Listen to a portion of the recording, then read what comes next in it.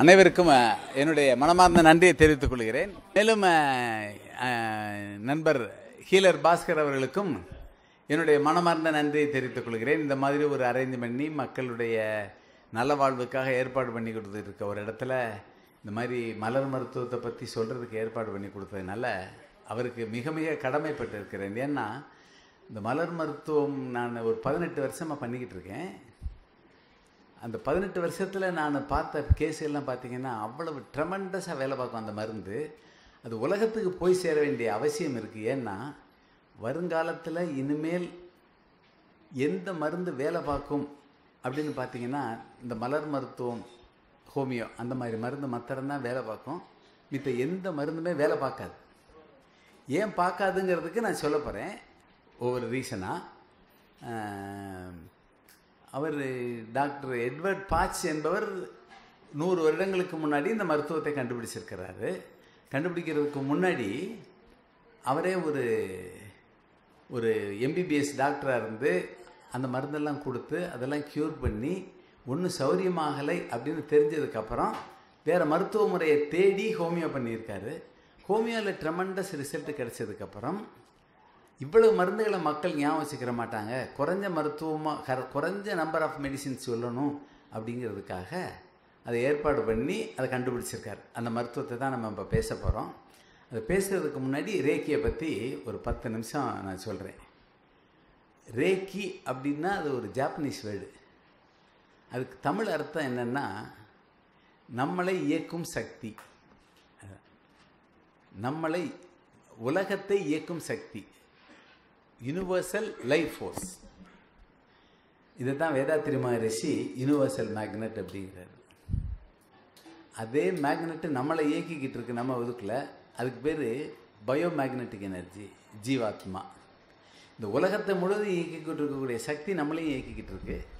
இந்த சக்தி நமக்கு விரயமாக வெளியிலேருந்து வாங்க வேண்டிய அவசியம் நமக்கு இருக்குது ஏன்னா உலகம் முழுவதும் அந்த சக்தி இருக்குது அந்த சக்தி கிறிஸ்டியானிட்டியில் பரிசுத்தாவின்னு பேர். மகரிஷி மகேஷ்வகி அதுக்கு பேர் கிரியேட்டிவ் இன்டெலிஜென்ஸ்னு சொல்லியிருக்காரு. ஆக்கறிவு. ஆஸ் நான் எலக்ட்ரிசிட்டி போர்டில் இன்ஜினியராக இருந்தேன். என்ன கேட்டிங்கன்னா அதை காந்த சக்தின்னு சொல்லுவாங்க காந்த சக்தி. இந்த காந்த சக்தி ஏன் இங்கே வந்துச்சுன்னா பூமியும் சூரியனும் ஒன்றை ஒன்று இழுக்காமல் சுற்றிக்கிட்டே இருக்கு இல்லையா? சந்திரனும் செவ்வாயும் ஒவ்வொன்றும் ஒரு மேக்னெட்டிக் கோலம் அதுலேருந்து மேக்னெட்டிக் எனர்ஜி வந்துக்கிட்டே இருக்குது மேக்னெட்டிக் ரேஸ் வந்துக்கிட்டே இருக்குது அந்த ரேஸை பூரா நம்ம வாங்கிக்கிறோம். ஒன்றுல இருந்து பாசிட்டிவ் ரேஸும் வரும் நெகட்டிவ் ரேஸும் வரும். இந்த பாசிட்டிவ் ரேஸை நம்ம வா ரிசீவ் பண்ணி அடுத்த ஆளுக்கு கொடுக்குறதுக்கு பேர் தான் ரேக்கி இந்த பாசிட்டிவ் ரேஸ் அப்படிங்கிற மேக்னெட்டிக் நார்த் நம்ம ரிசீவ் பண்ணுறதுக்கு நம்ம மேக்னெட்டிக் சவுத்தை விரிச்சு அதில் வந்து ஒட்டும். எப்படி காந்தம் நார்த்து சவுத்தை ஒட்டுதோ அதே மாதிரி காந்த சக்தியான ரேக்கி எனர்ஜியை நம்ம இந்த கையில் வாங்கிக்கிறலாம். விரித்த உடனே. நம்ம உடம்புக்குள்ளே போய் இது வெளியே வெளியே போகும் இதில் கொடுத்தா. இதுதான் ரேக்கி. இதுக்கு மேலே அதுக்கு சொல்கிறதுக்கே ஒன்றுமே இல்லை. ரேக்கி எனர்ஜி நீங்கள் ஒவ்வொரு கோயிலையும் சிலையை போய் பார்த்தீங்கன்னா இப்படி தான் உட்காந்துருக்கு அதை ரிசீவ் பண்ணி கொடுக்கணும். அதே மாதிரி நம்மளும் நல்ல சக்தியை வாங்கணும்னா இந்த கையை விரிக்கணும். கெட்ட சக்தியை வாங்கணும்னா இந்த கையை விரிக்கணும். இந்த கெட்ட சக்தியை ஒரு வீட்டுக்குள்ளே முத முதல்ல வர போகிற பொண்ணு அந்த வீடை புனிதப்படுத்தணுங்கிறதுக்காக அந்த வீட்டில் உள்ள கெட்ட சக்திகளையெல்லாம் தான் வாங்கிக்கிறணும். அந்த வீடை புனிதப்படுத்தணுங்கிறதுக்காக வலது காலை தூக்கி வச்சுட்டு வந்துருக்கோம் நம்ம. இதை தூக்கி வச்சோன்னே அங்கே உள்ள நெகட்டிவ்லி சார்ஜ் பாட்டுக்கெல்லாம் அந்த அம்மாவை ஒட்டி அது அப்புறம் புனிதப்பெறும். அந்த வீடு புனிதமாயிடும் இதுதான் வலது காலை எடுத்து வச்சு வாங்குறது தத்துவமே. இடது கையை விரிச்சா வாங்குவோம் வலது கையை விரிச்சா கொடுப்போம். இதுதான் ரேக்கி எனர்ஜி. காந்த சக்தியின் பாசிட்டிவ் தன்மை உள்ளது. இன்னும் கொஞ்சம் அதிகமாக சொல்லணும்னா கடவுள் சக்தி உள்ளது. அந்த பாஸ் கடவுளுக்கும் பிசாசுக்கும் என்ன வித்தியாசம்னு சொல்கிறேன் யாருக்காவது தெரிஞ்சால் கூட சொல்லுங்கள் கடவுளும் எனர்ஜி பாடி பிசாசும் எனர்ஜி பாடி. கடவுள் பாசிட்டிவ் எனர்ஜி பாடி பிசாசு நெகட்டிவ் எனர்ஜி பாடி. கடவுள் ஈ அல்ட்ரூயிஸ்டிக் கேரக்டர் சுயநமலம் இல்லாத கேரக்டர்.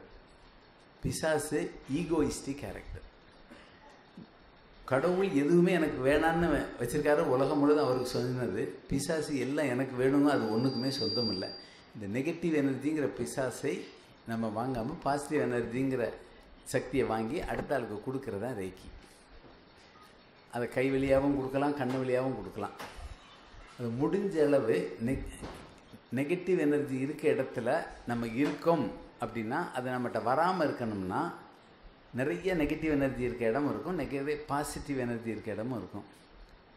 அதுக்கு தான் ஆலயங்களை எல்லாம் வச்சுருக்கோம். இந்த நெகட்டிவ் எனர்ஜி இடத்துல போய் நம்ம வாங்கிடாமல் இருக்கணும்.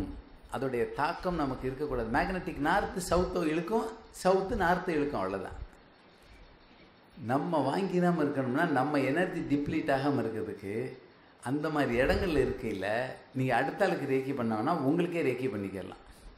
எப்படி பண்ணுறது நேற்றெல்லாம் பார்த்துருப்பீங்க இங்கே கை வை இங்கே கை இங்கே வை இங்கே கை வைன்னு அவ்வளோலாம் செய்வேன் நான் சத்தம் போடாமல் இப்போ நான் காமிக்கிறேன் பாருங்க. சேர்த்து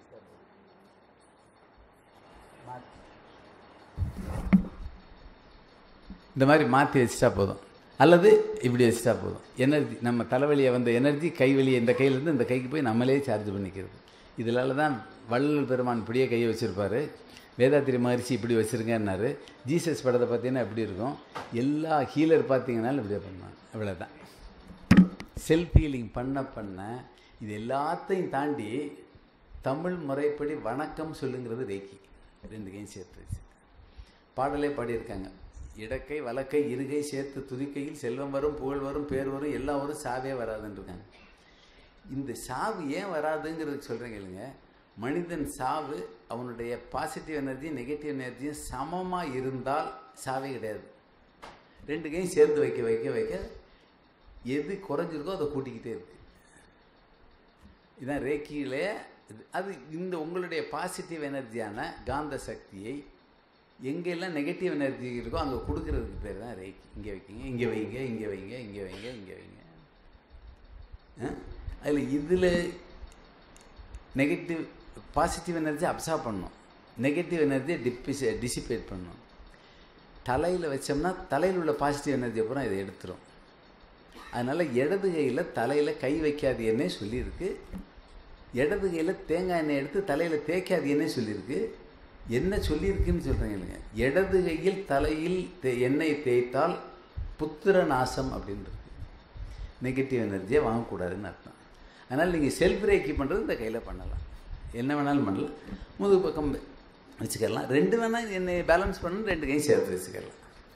இதுக்கு மேலே உங்களுக்கு ரேக்கிக்கு உள்ள சந்தேகம் ஏதாவது இருந்தால் கேளுங்க.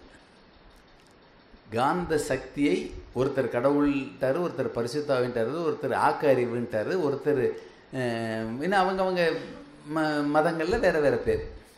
இந்த காந்த சக்தி எங்கேருந்து வருதுன்னா ஒவ்வொரு கிரகமும் ஒரு காந்தம் ஒன்றுலேருந்து ஒன்று இழுக்காமல் சுற்றிக்கிட்டு இருக்கு. அதனால தான் சொன்னார் தூணிலும் இருப்பார் துரும்பிலும் இருப்பார். ஏன்னா இந்த காந்த சக்தி வர்ற இடம் பூரா எல்லா இடத்துலையும் நிறைஞ்சிருக்கு. அந்த சக்தியை நல்ல சக்தியை வாங்குறதுக்கு நீங்கள் உங்களுடைய எண்ணங்கள் நல்லா இருந்தால் நல்ல சக்தியை வாங்க போகிறீங்க கெட்ட எண்ணமாக இருந்தால் கெட்டதை வாங்க போகிறோம் அது நம்ம சதையை பார்க்கையில் பார்ப்போம். வேறு ஏதாவது அடுத்து மலர் மத் பாதுகாப்பு வளையம் போடணும் அப்படின்னு என்ன போட்டிங்க? பிரமிட் போட்டிங்களா? எப்படி போட்டுக்கிறேன்னு கேட்குறீங்களா இந்த கெட்ட சக்தி நமக்குள்ளே வராமல் இருக்கணும் அப்படின்னா நீங்களே உங்கள் கையை வச்சு அப்படி இருந்தீங்கன்னா இந்த நெகட்டிவ் எனர்ஜி பூரா போயிடும் அப்புறம் பாசிட்டிவ் எல்லாம் இருக்கும். குளிச்சா போயிடும் இது எல்லாத்துக்கும் மேலே எல்லாருக்கும் பிரமிடை பற்றி தெரியுமா? பிரமிடு பார்த்துருப்பீங்களா? இந்த பிரமிட் மாதிரி இமேஜினேஷனாக உங்களை முன்னாடி வலதுகை பக்கமாகவே கிளாக் வைஸில் இப்படி ஒன்று இப்படி ஒன்று இப்படி ஒன்று இப்படி ஒன்று இருக்குது அப்படி நாளைக்கு சேர்த்து போட்டுட்டிங்கன்னா அதுக்குள்ளே நீங்கள் இருக்க வரைக்கும் கையை வச்சு போடணும்னு அவசியம் இல்லை. கண்ணாலே மனசில் பஸ்ஸில் உட்காந்துட்டு அப்படின்ட்டா போதும் இந்த நாலு பக்கமும். அது ஒரு கிளாக் வைஸில் சுற்றி கட்டம் கட்டிட்டீங்கன்னா அதுக்குள்ளே நீங்கள் இருக்க வரைக்கும் உங்களுடைய சக்தி ஓட்டம் அதிலிருந்து வந்துக்கிட்டே இருக்கும். உங்களுடைய சக்தி ஓட்டம் ஓட்டுற டிரைவருக்கு போய் போய் அந்த காரே ஆக்சிடெண்ட் ஆகாது. பாதுகாப்பு வளையம் உங்களுக்கு போட்டதுனால உங்களுக்கு எல்லா நேரமும் பாதுகாப்பு கிடைக்கிறதுனால அந்த சக்தி உங்கள் உடம்புலேருந்து ரேடியேட் ஆகி அங்கே உள்ளதுலேயே ரொம்ப வேலை பார்க்குறாலும் டிரைவர் ஒருத்தர் தான். அவருக்கு தான் இலை களைப்பு வரும் அவருக்கு தான் சக்தி இழப்பு வரும். அவருக்கு போய் போய் அவருக்கு ஒரு மறதி நிலையை கொண்டு வராமல் கடைசி வரைக்கும் கார் ஆக்சிடெண்ட் ஆகாமல் ஓட்ட முடியும். இந்த அறுபது பேரில் நீங்கள் ஒரு ஆள் பாதுகாப்பளையம் போட்டால் போதும் அவ்வளோ பேருக்கும் போகும். இன்றைக்கி கார் ஆக்சிடெண்ட் ஆகுது புயல் வருதுன்னா அந்த ஏரியாவில் உள்ள எல்லாருமே எதிர்மறை எண்ணங்களோடு வாழ்ந்துக்கிட்டு இருக்காங்கங்கிறத தவிர வேறு காரணமே கிடையாது. இயற்கை ஒரு காலத்துலேயும் சீற்றம் கொள்ளாது man is a miniature of cosmos so இந்த மைக்ரோ காசம் என்ன தப்பை பண்ணுதோ அது மேக்ரோ காசத்தில் டெவலப் ஆகுது. எங்கே நடந்தாலும் அதுதான் உண்மை. நம்ம வீட்டில் சண்டை நடந்தாலும் நம்ம வீட்டில் பிரச்சனைனாலும் நம்ம ரேடியேட் பண்ணிக்கிட்டு இருக்க நெகட்டிவ் எனர்ஜியை பண்ணிக்கிட்டு இருக்கோன்னு அர்த்தம். அந்த பொறுப்பு ஏற்றுக்கிற எல்லாரும் தயாராகிட்டா இப்போ கார் ஓட்டிகிட்டு போகிறோம் என்னடா தப்பாக வரேன்னு கேட்குறோம் யாருமே நம்ம பொறுப்பு ஏற்றுக்கிறதுக்கு இல்லை. அவன் மேலே போட்டு தான் பார்க்குறோம் எல்லாரும் இன்றைக்கி உலகத்தில் ஒவ்வொரு தவறுக்கும் தான் பொறுப்பு ஏற்றுக்கிறதுக்கு ரெடி ஆகிட்டா ஜனவரி ஒன்றாந்தேதி உலகம் திருந்திடும் எல்லாருமே நான் தவறு செய்வேன் அடுத்தவன் தவறை மாத்திரம் நான் சுட்டி காமிச்சிக்கிட்டு இருப்பேன். தவறை ஏற்றுக்கிறதுக்கு நம்ம யாரும் ரெடியாக இல்லை. அதுதான் இன்றைக்கி உலகத்தில் எல்லா வியாதிக்கும் எல்லா சூழலுக்கும் எல்லா புயலுக்கும் எல்லா சுனாமிக்கும் காரணம்.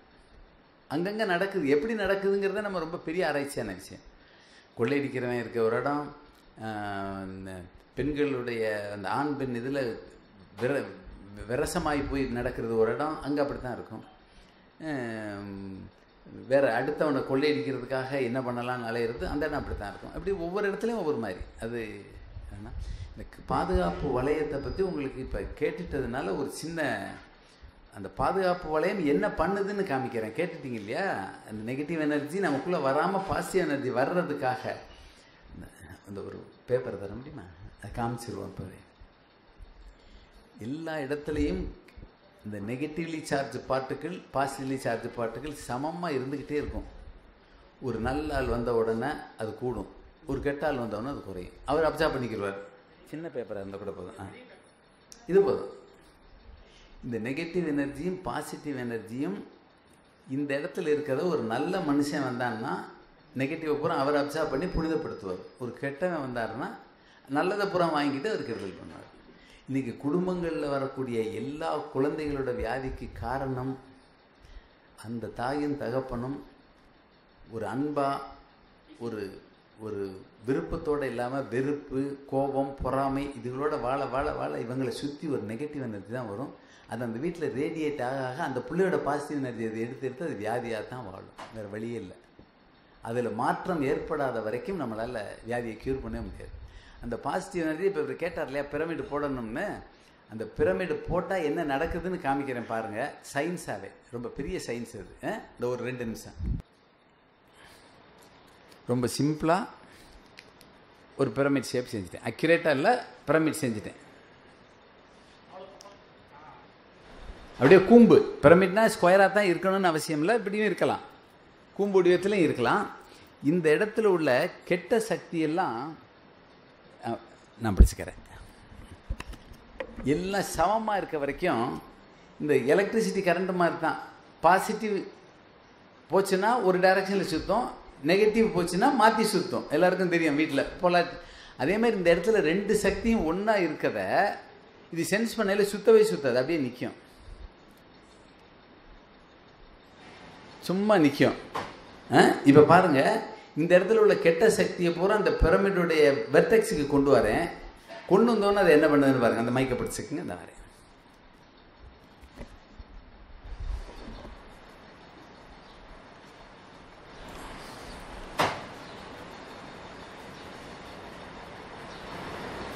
ஆன்டி கிளாவிஸில் சுத்த ஆரம்பிச்சிருச்சு. இந்த இடத்துல உள்ள நெகட்டிவ்லி சார்ஜ் பார்ட்டிகள்னு சொல்லக்கூடிய பிசாசை பூரா இங்கே கொண்டு வந்துடும் இந்த கொண்டு வந்ததை இந்த இடத்துல இருந்து டூ தேர்ட் ஹைட்டுக்குள்ளே அதை பாசிட்டிவாக மாற்றிடும் பாருங்க.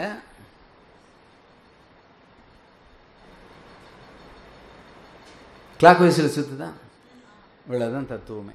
பிரமிடோட தத்துவமே கெட்ட சக்திகளை பூரா உடனே நல்ல சக்தியாக மாற்றக்கூடிய ஆற்றல் உண்டு.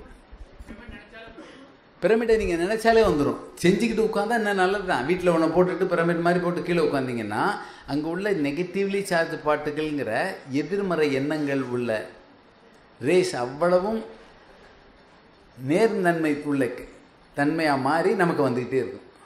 இதான். ஸோ அந்த பிரமிடை போட்டுக்கிட்டிங்கன்னா அதை விட ப்ரொடெக்ஷன் வேறு ஒன்றுமே இல்லை. எங்கே போனாலும் இந்த மேலேருந்து இந்த பிரமிடோட இருக்குல்ல இந்த இடத்துல இருந்து இந்த பக்கம் ஒன்று இந்த பக்கம் ஒன்று இந்த பக்கம் ஒன்று இந்த பக்கம் ஒன்று இந்த கீழே இருந்து நாளையும் ஜாயின் பண்ண மாதிரி. மனசில் இமேஜின் பண்ணிங்கன்னா போதும். கையை வச்சு போட்டாலும் போதும். இந்த மாதிரி ஒரு மனசுக்குள்ளே கண்ணுக்கு நேரம் இப்படி போட்டாலும் போதும். அந்த பிரமிடு உங்களை கடைசி வரைக்கும் காப்பாது you are inside the pyramid ஒரு ஒரு ஒரு நாளைக்கு ஒரு தடவை போடுங்க. காரில் இறையில் போடுங்க. மறுபடியும் முடிச்சுட்டு ஒரு வியாபாரத்துக்கு போறியா? அங்கன்னு ஒருக்கா போட்டுக்கோங்க. ஒன்றும் இல்லை காலையில் எழுந்திரிச்சு போட்டுட்டு அன்னன்னைக்கு வேலையை செஞ்சுன்னு வாழ்க வளமுடன் அப்படின்னு சொன்னாலே இந்த நாக்கு போய் மேலே ஒட்டுதில்லை. உடனே இறை சக்தி ஓப்பன் ஆகி வந்துக்கிட்டு இருக்காதான் ரேக்கி இந்த டிப்பை கொண்டு மேலே ஒட்டிட்டீங்கன்னா உடனே ஓப்பன் ஆயிடுது அதுக்காக தான் வாழ்க வளமுடன் வாழ்க வையகம் சொன்னார். அந்த வாழ்க வளமுடன் தமிழுக்கு உள்ள சிறப்பு லகரத்துக்கு உள்ள தனித்தன்மையே இந்த லகரத்துக்கு என்ன இருக்குன்னா தமிழ் தமிழ் என்ற போது தன்னமோது ஊரும் வாயில் தான் தமிழ் தமிழ் அப்படின்னு சொல்லையில் போய் ஒட்டுதில்ல உடனே இது ஓப்பன் ஆகி இது வெளியே உங்களுடைய இறை சக்தி வருதில்ல அந்த அந்த சக்தியை பின்னாடி எக்ஸ்பிளைன் பண்ணுறேன் அந்த அமுதம் நம்ம உடம்புல சுரக்க ஆரம்பிச்சிருங்கிறார். அதுதான் இலக்கணத்துக்கு உள்ளது. இப்போ நம்ம மலர் மருத்துவத்துக்கு போ எட்வர்ட் பாச் என்பவர் டாக்டராக இருந்துட்டு இந்த மருத்துவத்தை கண்டுபிடிக்கிறாரு.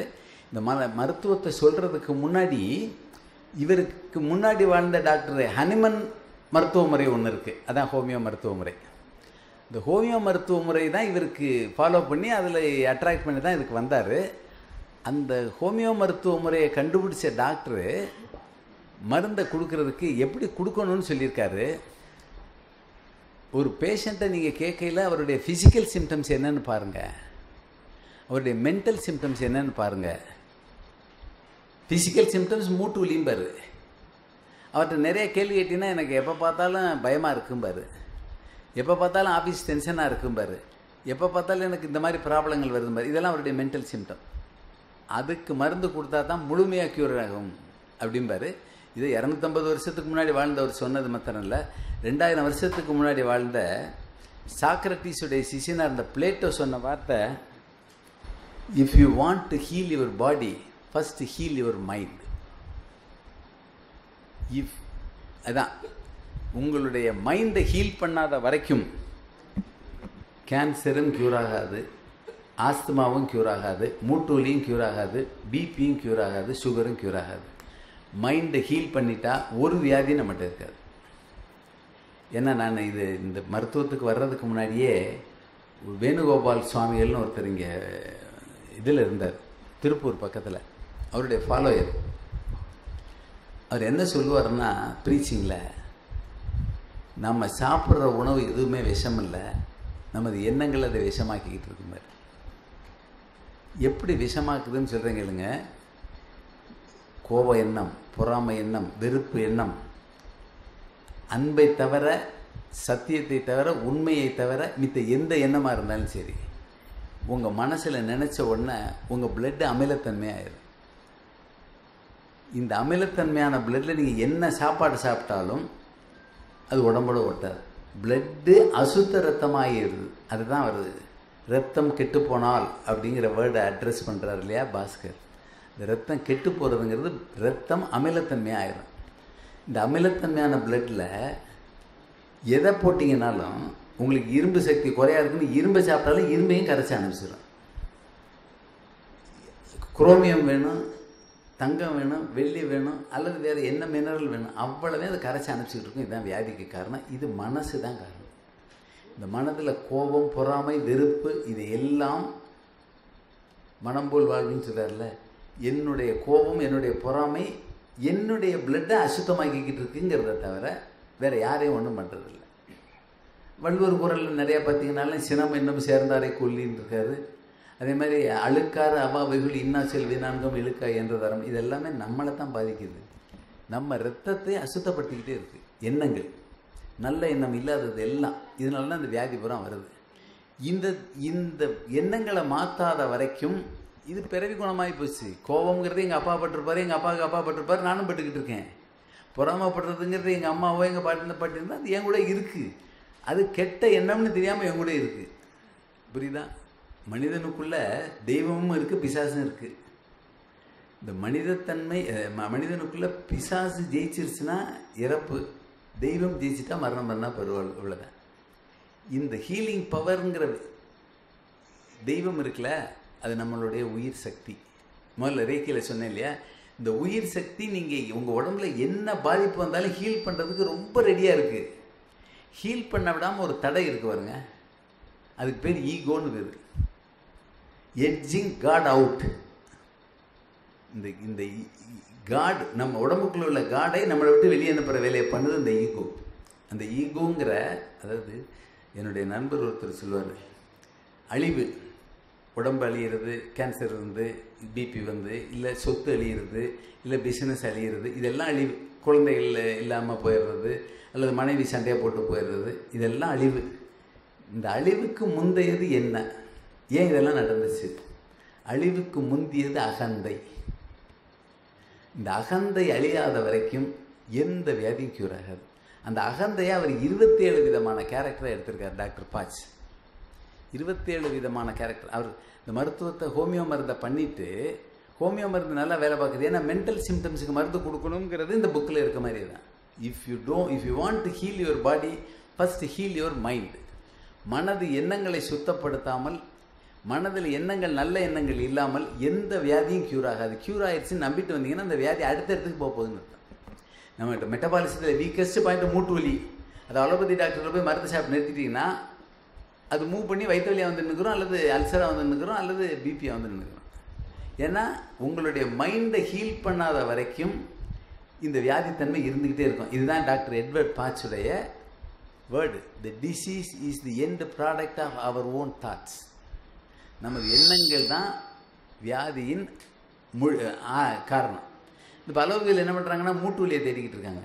மூட்டு வலி வியாதி இல்லை. இட் இஸ் த ரிசல்ட்டு இதோடைய ஆரம்பம் என்னன்னு தெரிஞ்சு அதை க்யூர் பண்ணாத வரைக்கும் க்யூர் பண்ணாது. இதுதான் டாக்டர் எட்வர்ட் பாச்சுடைய முப்பத்தெட்டு மருந்துக்கும் முப்பத்து விதமான கேரக்டர் இந்த முப்பத்தெட்டு மருந்து என்னென்னு சொல்கிறேன் அதில் எப்படி எப்படி மருந்தெல்லாம் கொடுத்துருக்கேன்னு சொல்கிறேன் ஏன்னா அனுபவத்தை பயிர்த்துக்கிட்டேன்னா உங்களுக்கு ஈஸியாக இருக்கும். அவர் மொத்தம் ஏழு விதமான கேரக்டராக பிரிச்சிருக்கார். மொத்தத்தையும் முப்பத்தெட்டு மருந்தையும் ஏழு விதமான மனநிலை அப்படின்னு கொண்டு வந்திருக்காரு அந்த ஏழு விதமான மனநிலை சொல்கிறேன் கேளுங்க. கவலைப்படுறது துன்பப்படுறது வேதனைப்படுறது இந்த மாதிரி தீராத வியாதி இருக்குது. இதெல்லாம் ஒரு கேரக்டர் அடுத்து பயம். காரணத்துடன் கூடிய பயம் காரணமின்றி பயம். பிறரை பற்றிய பயம். இதெல்லாம் பய உணர்வு. இது ஒரு கேரக்டர் மூணாவது குணாது இன்னொன்று யாராவது சொன்னாங்கன்னா எதிர்த்து பேச பயப்படக்கூடிய கொலைத்தனம். அது ஒரு கேரக்டர் இந்த ஹிட்லர் மாதிரி பயங்கரவாதம் இருக்கு பாருங்க அது ஒரு கேரக்டர் தான்கிற அகம்பாவத்தோடு இருக்கக்கூடிய கேரக்டர் அந்த கேரக்டர் அது ஒரு ஹெட்டிங் அடுத்து ஒரு வேலையை பார்த்த உடனே ஐயோ இவ்வளோ பெரிய வேலையான்னு மலைச்சு போகிற ஆள் இருக்காங்களே அந்த மாதிரி வேலை திறனை பார்த்து பயப்படக்கூடிய கேரக்டர் இது நான் நோட்ஸ் நிறைய புக்கில் அதை டீல் பண்ணியிருக்காரு. நீங்கள் புக்கில் நிறைய இருக்குது என்னென்ன ஆத்தர் இருக்காருன்னு சொல்கிறேன் அதில் படிச்சீங்கன்னா நான் சொல்லியிருக்கிறப்பறம் ரொம்ப டீப்பாக எழுதியிருக்காங்க. அடுத்து ஏதாவது ஒரு விஷயத்தில் நம்பிக்கை இல்லாமல் பயந்து பயந்து பயந்து செய்கிறது ஒரு தள்ளாட்டத்தோடு செய்கிறது அந்த மாதிரி ஒரு கேரக்டர் இப்படி ஒரு எட்டு விதமான கேரக்டர் மத்திரம் ஏழு விதமான கேரக்டர் மத்திரம் தான் அவர் எடுத்திருக்காரு. ஒவ்வொரு கேரக்டருக்கும் என்னென்ன குணாதிசயம் என்னென்ன மருந்துன்னு எழுதியிருக்காரு நான் வாசிக்கிறேன். அவருடைய மருந்துகளை சொல்லிட்டு வரேன். முதல் மருந்து அவருடைய இதில் அக்ரிமோனி அப்படின்னு ஒரு மருந்து. அக்ரிமோனி. இந்த அக்ரிமோனி கேரக்டர் என்னென்னா ஒரு இந்த ஏழு கேரக்டர்லேயும் ஒன்றுலேயும் அஞ்சு ஆறு ஏழுன்னு வரும். இந்த ஒரு உடம்புல பயங்கர வியாதி இருக்கும். ஆனால் வெளியில் சொல்ல மாட்டோம் சிரிச்சுக்கிட்டு இருப்போம். அந்த மாதிரி கேரக்டர் ஆளுகள் இருக்குல்ல அவங்களுக்குலாம் அந்த அக்ரிமோனின்னு கொடுத்தீங்கன்னா சௌரியமாயிரும்.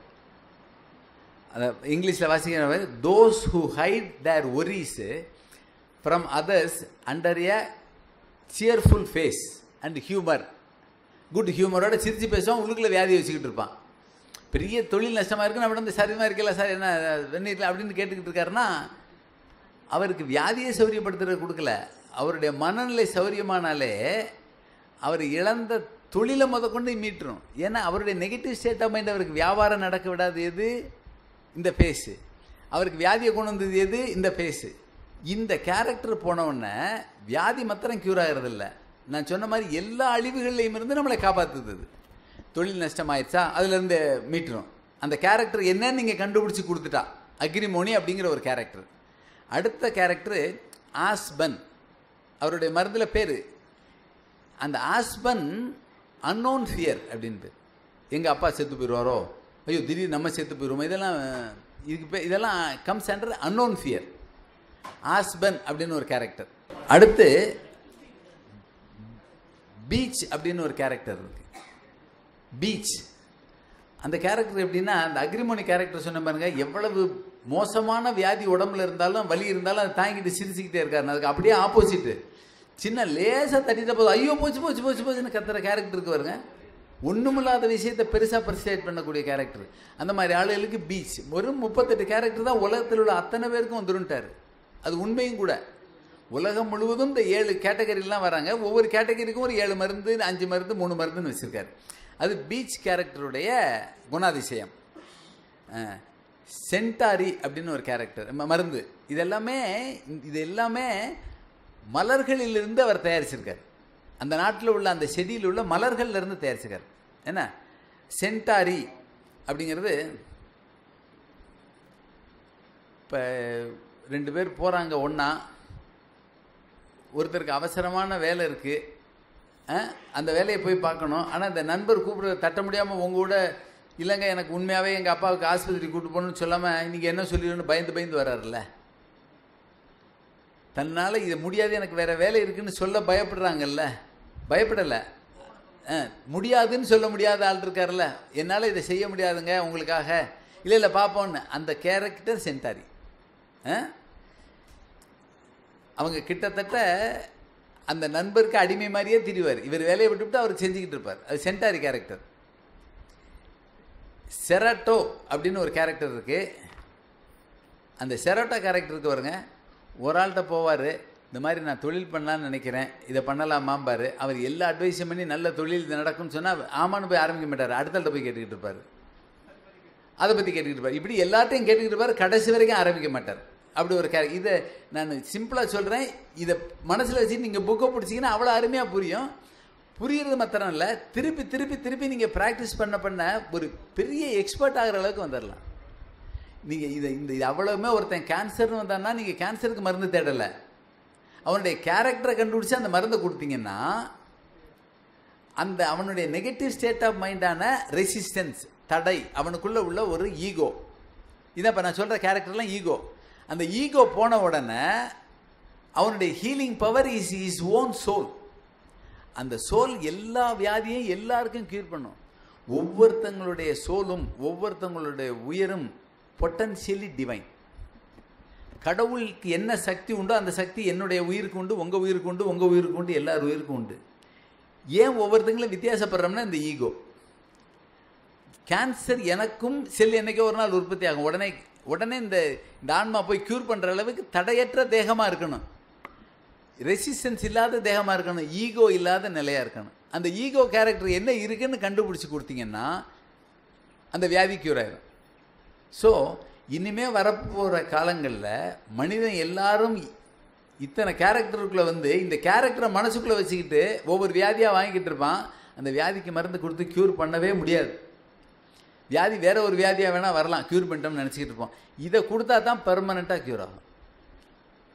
அந்த கேரக்டரை எடுத்துட்டீங்கன்னா அதுக்கப்புறம் அவனுடைய சோலே அதை க்யூர் பண்ணிக்கிறோம். அதான் அவருடைய தத்துவம். அப்படி தான் சொல்கிறாரு the healing power is within yourself அப்படின்னு தான் சொல்கிறார் அவர் மருந்த அடுத்து செரிபிளம் அப்படின்னு ஒரு மாதிரி அது. ஃபியர் ஆஃப் மைண்டு அந்த செரிபிளத்துக்கு சரியான இது என்னென்னா யாரெல்லாம் பரீட்சையில் சரியாக எழுதல தற்கொலை பண்ணிக்கிற போகிறேன் யாரெல்லாம் வியாபாரம் நொடிச்சு போச்சு தற்கொலை பண்ணிக்கிற போகிறேன் நான் காதலிச்ச பொண்ணு என்னை கல்யாணம் பண்ணல தற்கொலை பண்ணிக்கிற போகிறேன் அப்படின்னு தற்கொலை பண்ணிக்கிற போகிறேங்கிற மனநிலையில் உள்ளவனுக்கு இந்த செரிபலம் கொடுத்தீங்கன்னா தற்கொலை உணர்வு விட்டு போயிடும் இல்லை எனக்கு வியாதி தாங்கவே முடியல வலி வலி பொறுக்கவே முடியல நான் சூசைட் பண்ணிடலாம்னு நினைக்கிறேன் அப்படின்னா செரிபலத்தை கொடுத்தீங்கன்னா சூசைட் கேரக்டரும் போயிடும் அவனுக்கு வலியும் போயிடும் கேன்சரும் போயிடும் வியாபாரம் நடிச்சிருந்தா வியாபாரமும் நடக்க ஆரம்பிச்சிடும் இதான் அந்த செரிபிளம் கேரக்டர் செஸ்னட் பட் அப்படின்னு ஒன்று இருக்குது இது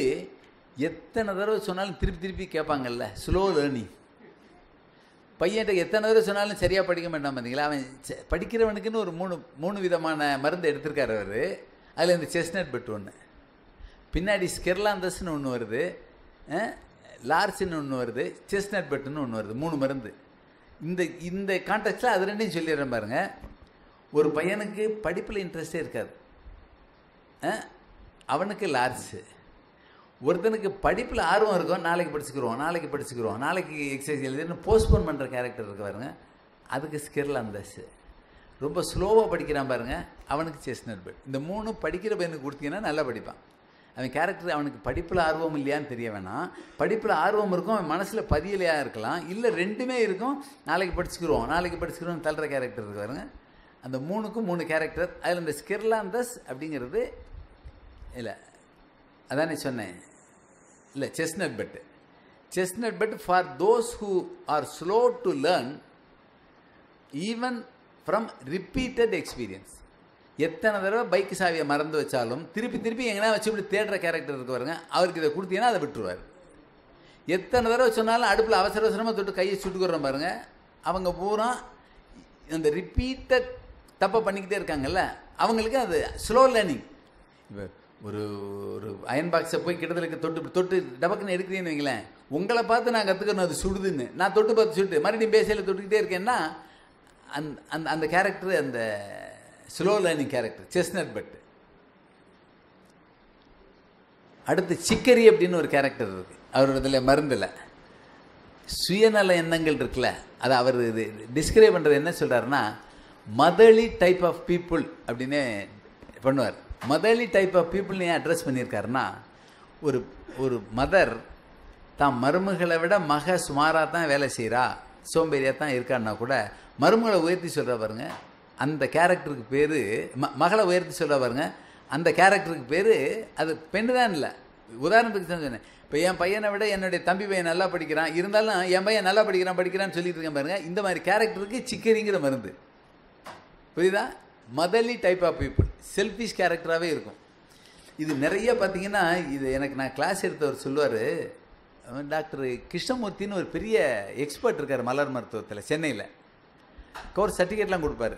நல்லாவே நடத்துவார். ஆனால் இந்த இந்த பாயிண்ட்டை சொல்ல மாட்டார் என்னென்ன மருந்து பேர். அவர் சொல்லுவார் என் தங்கச்சி வந்தா அவளுக்கு ஏதோ ப்ராப்ளம்னு கேட்டால் எனக்கு அது வேணும் இது வேணும்னு கேட்டால் எல்லாத்தையும் கொடுத்துட்டேன். இந்த மாதிரி ப்ராப்ளம்ல இருந்தால் நீ சிக்கரி போடுன்னு சொன்னேன். ப்ராப்ளம் சால்வ் ஆயிரும்னு ரெண்டு மூணு சிக்கரி மாத்திரையை போட்டுட்டு அடுத்த நாள் காலையில் என்ன எத்தனை தடவை வரேன்? என்ன சேலையை எடுத்து கொடுக்க மாட்டேன்னு என்கிட்ட நாலு சேலையை வாங்கிட்டு போயிட்டா. ஒருவேளை நானும் நாலு சிக்கரி போட்டுருந்தா நான் கொடுத்துருக்க மாட்டேன். டாமினேட் பண்ணிட்டா கொண்டு போயிட்டான் பாரு. அந்த மதலி டைப் ஆஃப் பீப்புள் அப்படிங்கிறது சுயநல எண்ணத்தோடு வரக்கூடிய கேரக்டர் அது. அந்த கேரக்டருக்கு என்ன வியாதி வந்தாலும் இதை கொடுத்தீங்கன்னா சரியாயிடும் இந்த சிக்கரியை பற்றி சொல்லையில் ஒரு முக்கியமான பாயிண்ட் எல்லாரும் நோட் பண்ணிக்கோங்க. இந்த பிறந்த குழந்தைகள் இருக்குல்ல பிறந்து பத்து நாள் பதினஞ்சு நாள் ஒரு மாதம் ரெண்டு மாதம் மூணு மாதம் எப்போ பார்த்தாலும் அழுதுகிட்டே இருக்கும். இது அம்மாவை தவிர வேற யாரும் தூக்கக்கூடாதுங்கிற கேரக்டர் அதுக்கு இந்த சிக்கரியை கொடுத்தீங்கன்னா அழுகையை விட்டுரும். ரொம்ப அருமையான மருந்து இந்த ரெண்டு மருந்து இன்னொன்று கடைசியாக சொல்லுவேன். பிறந்த குழந்தைகள் அழுதுகிட்டு இருக்குன்னா இந்த ரெண்டு மருந்தில் ஒரு மருந்து நிறுத்திடும் ஒன்று சிக்கரி.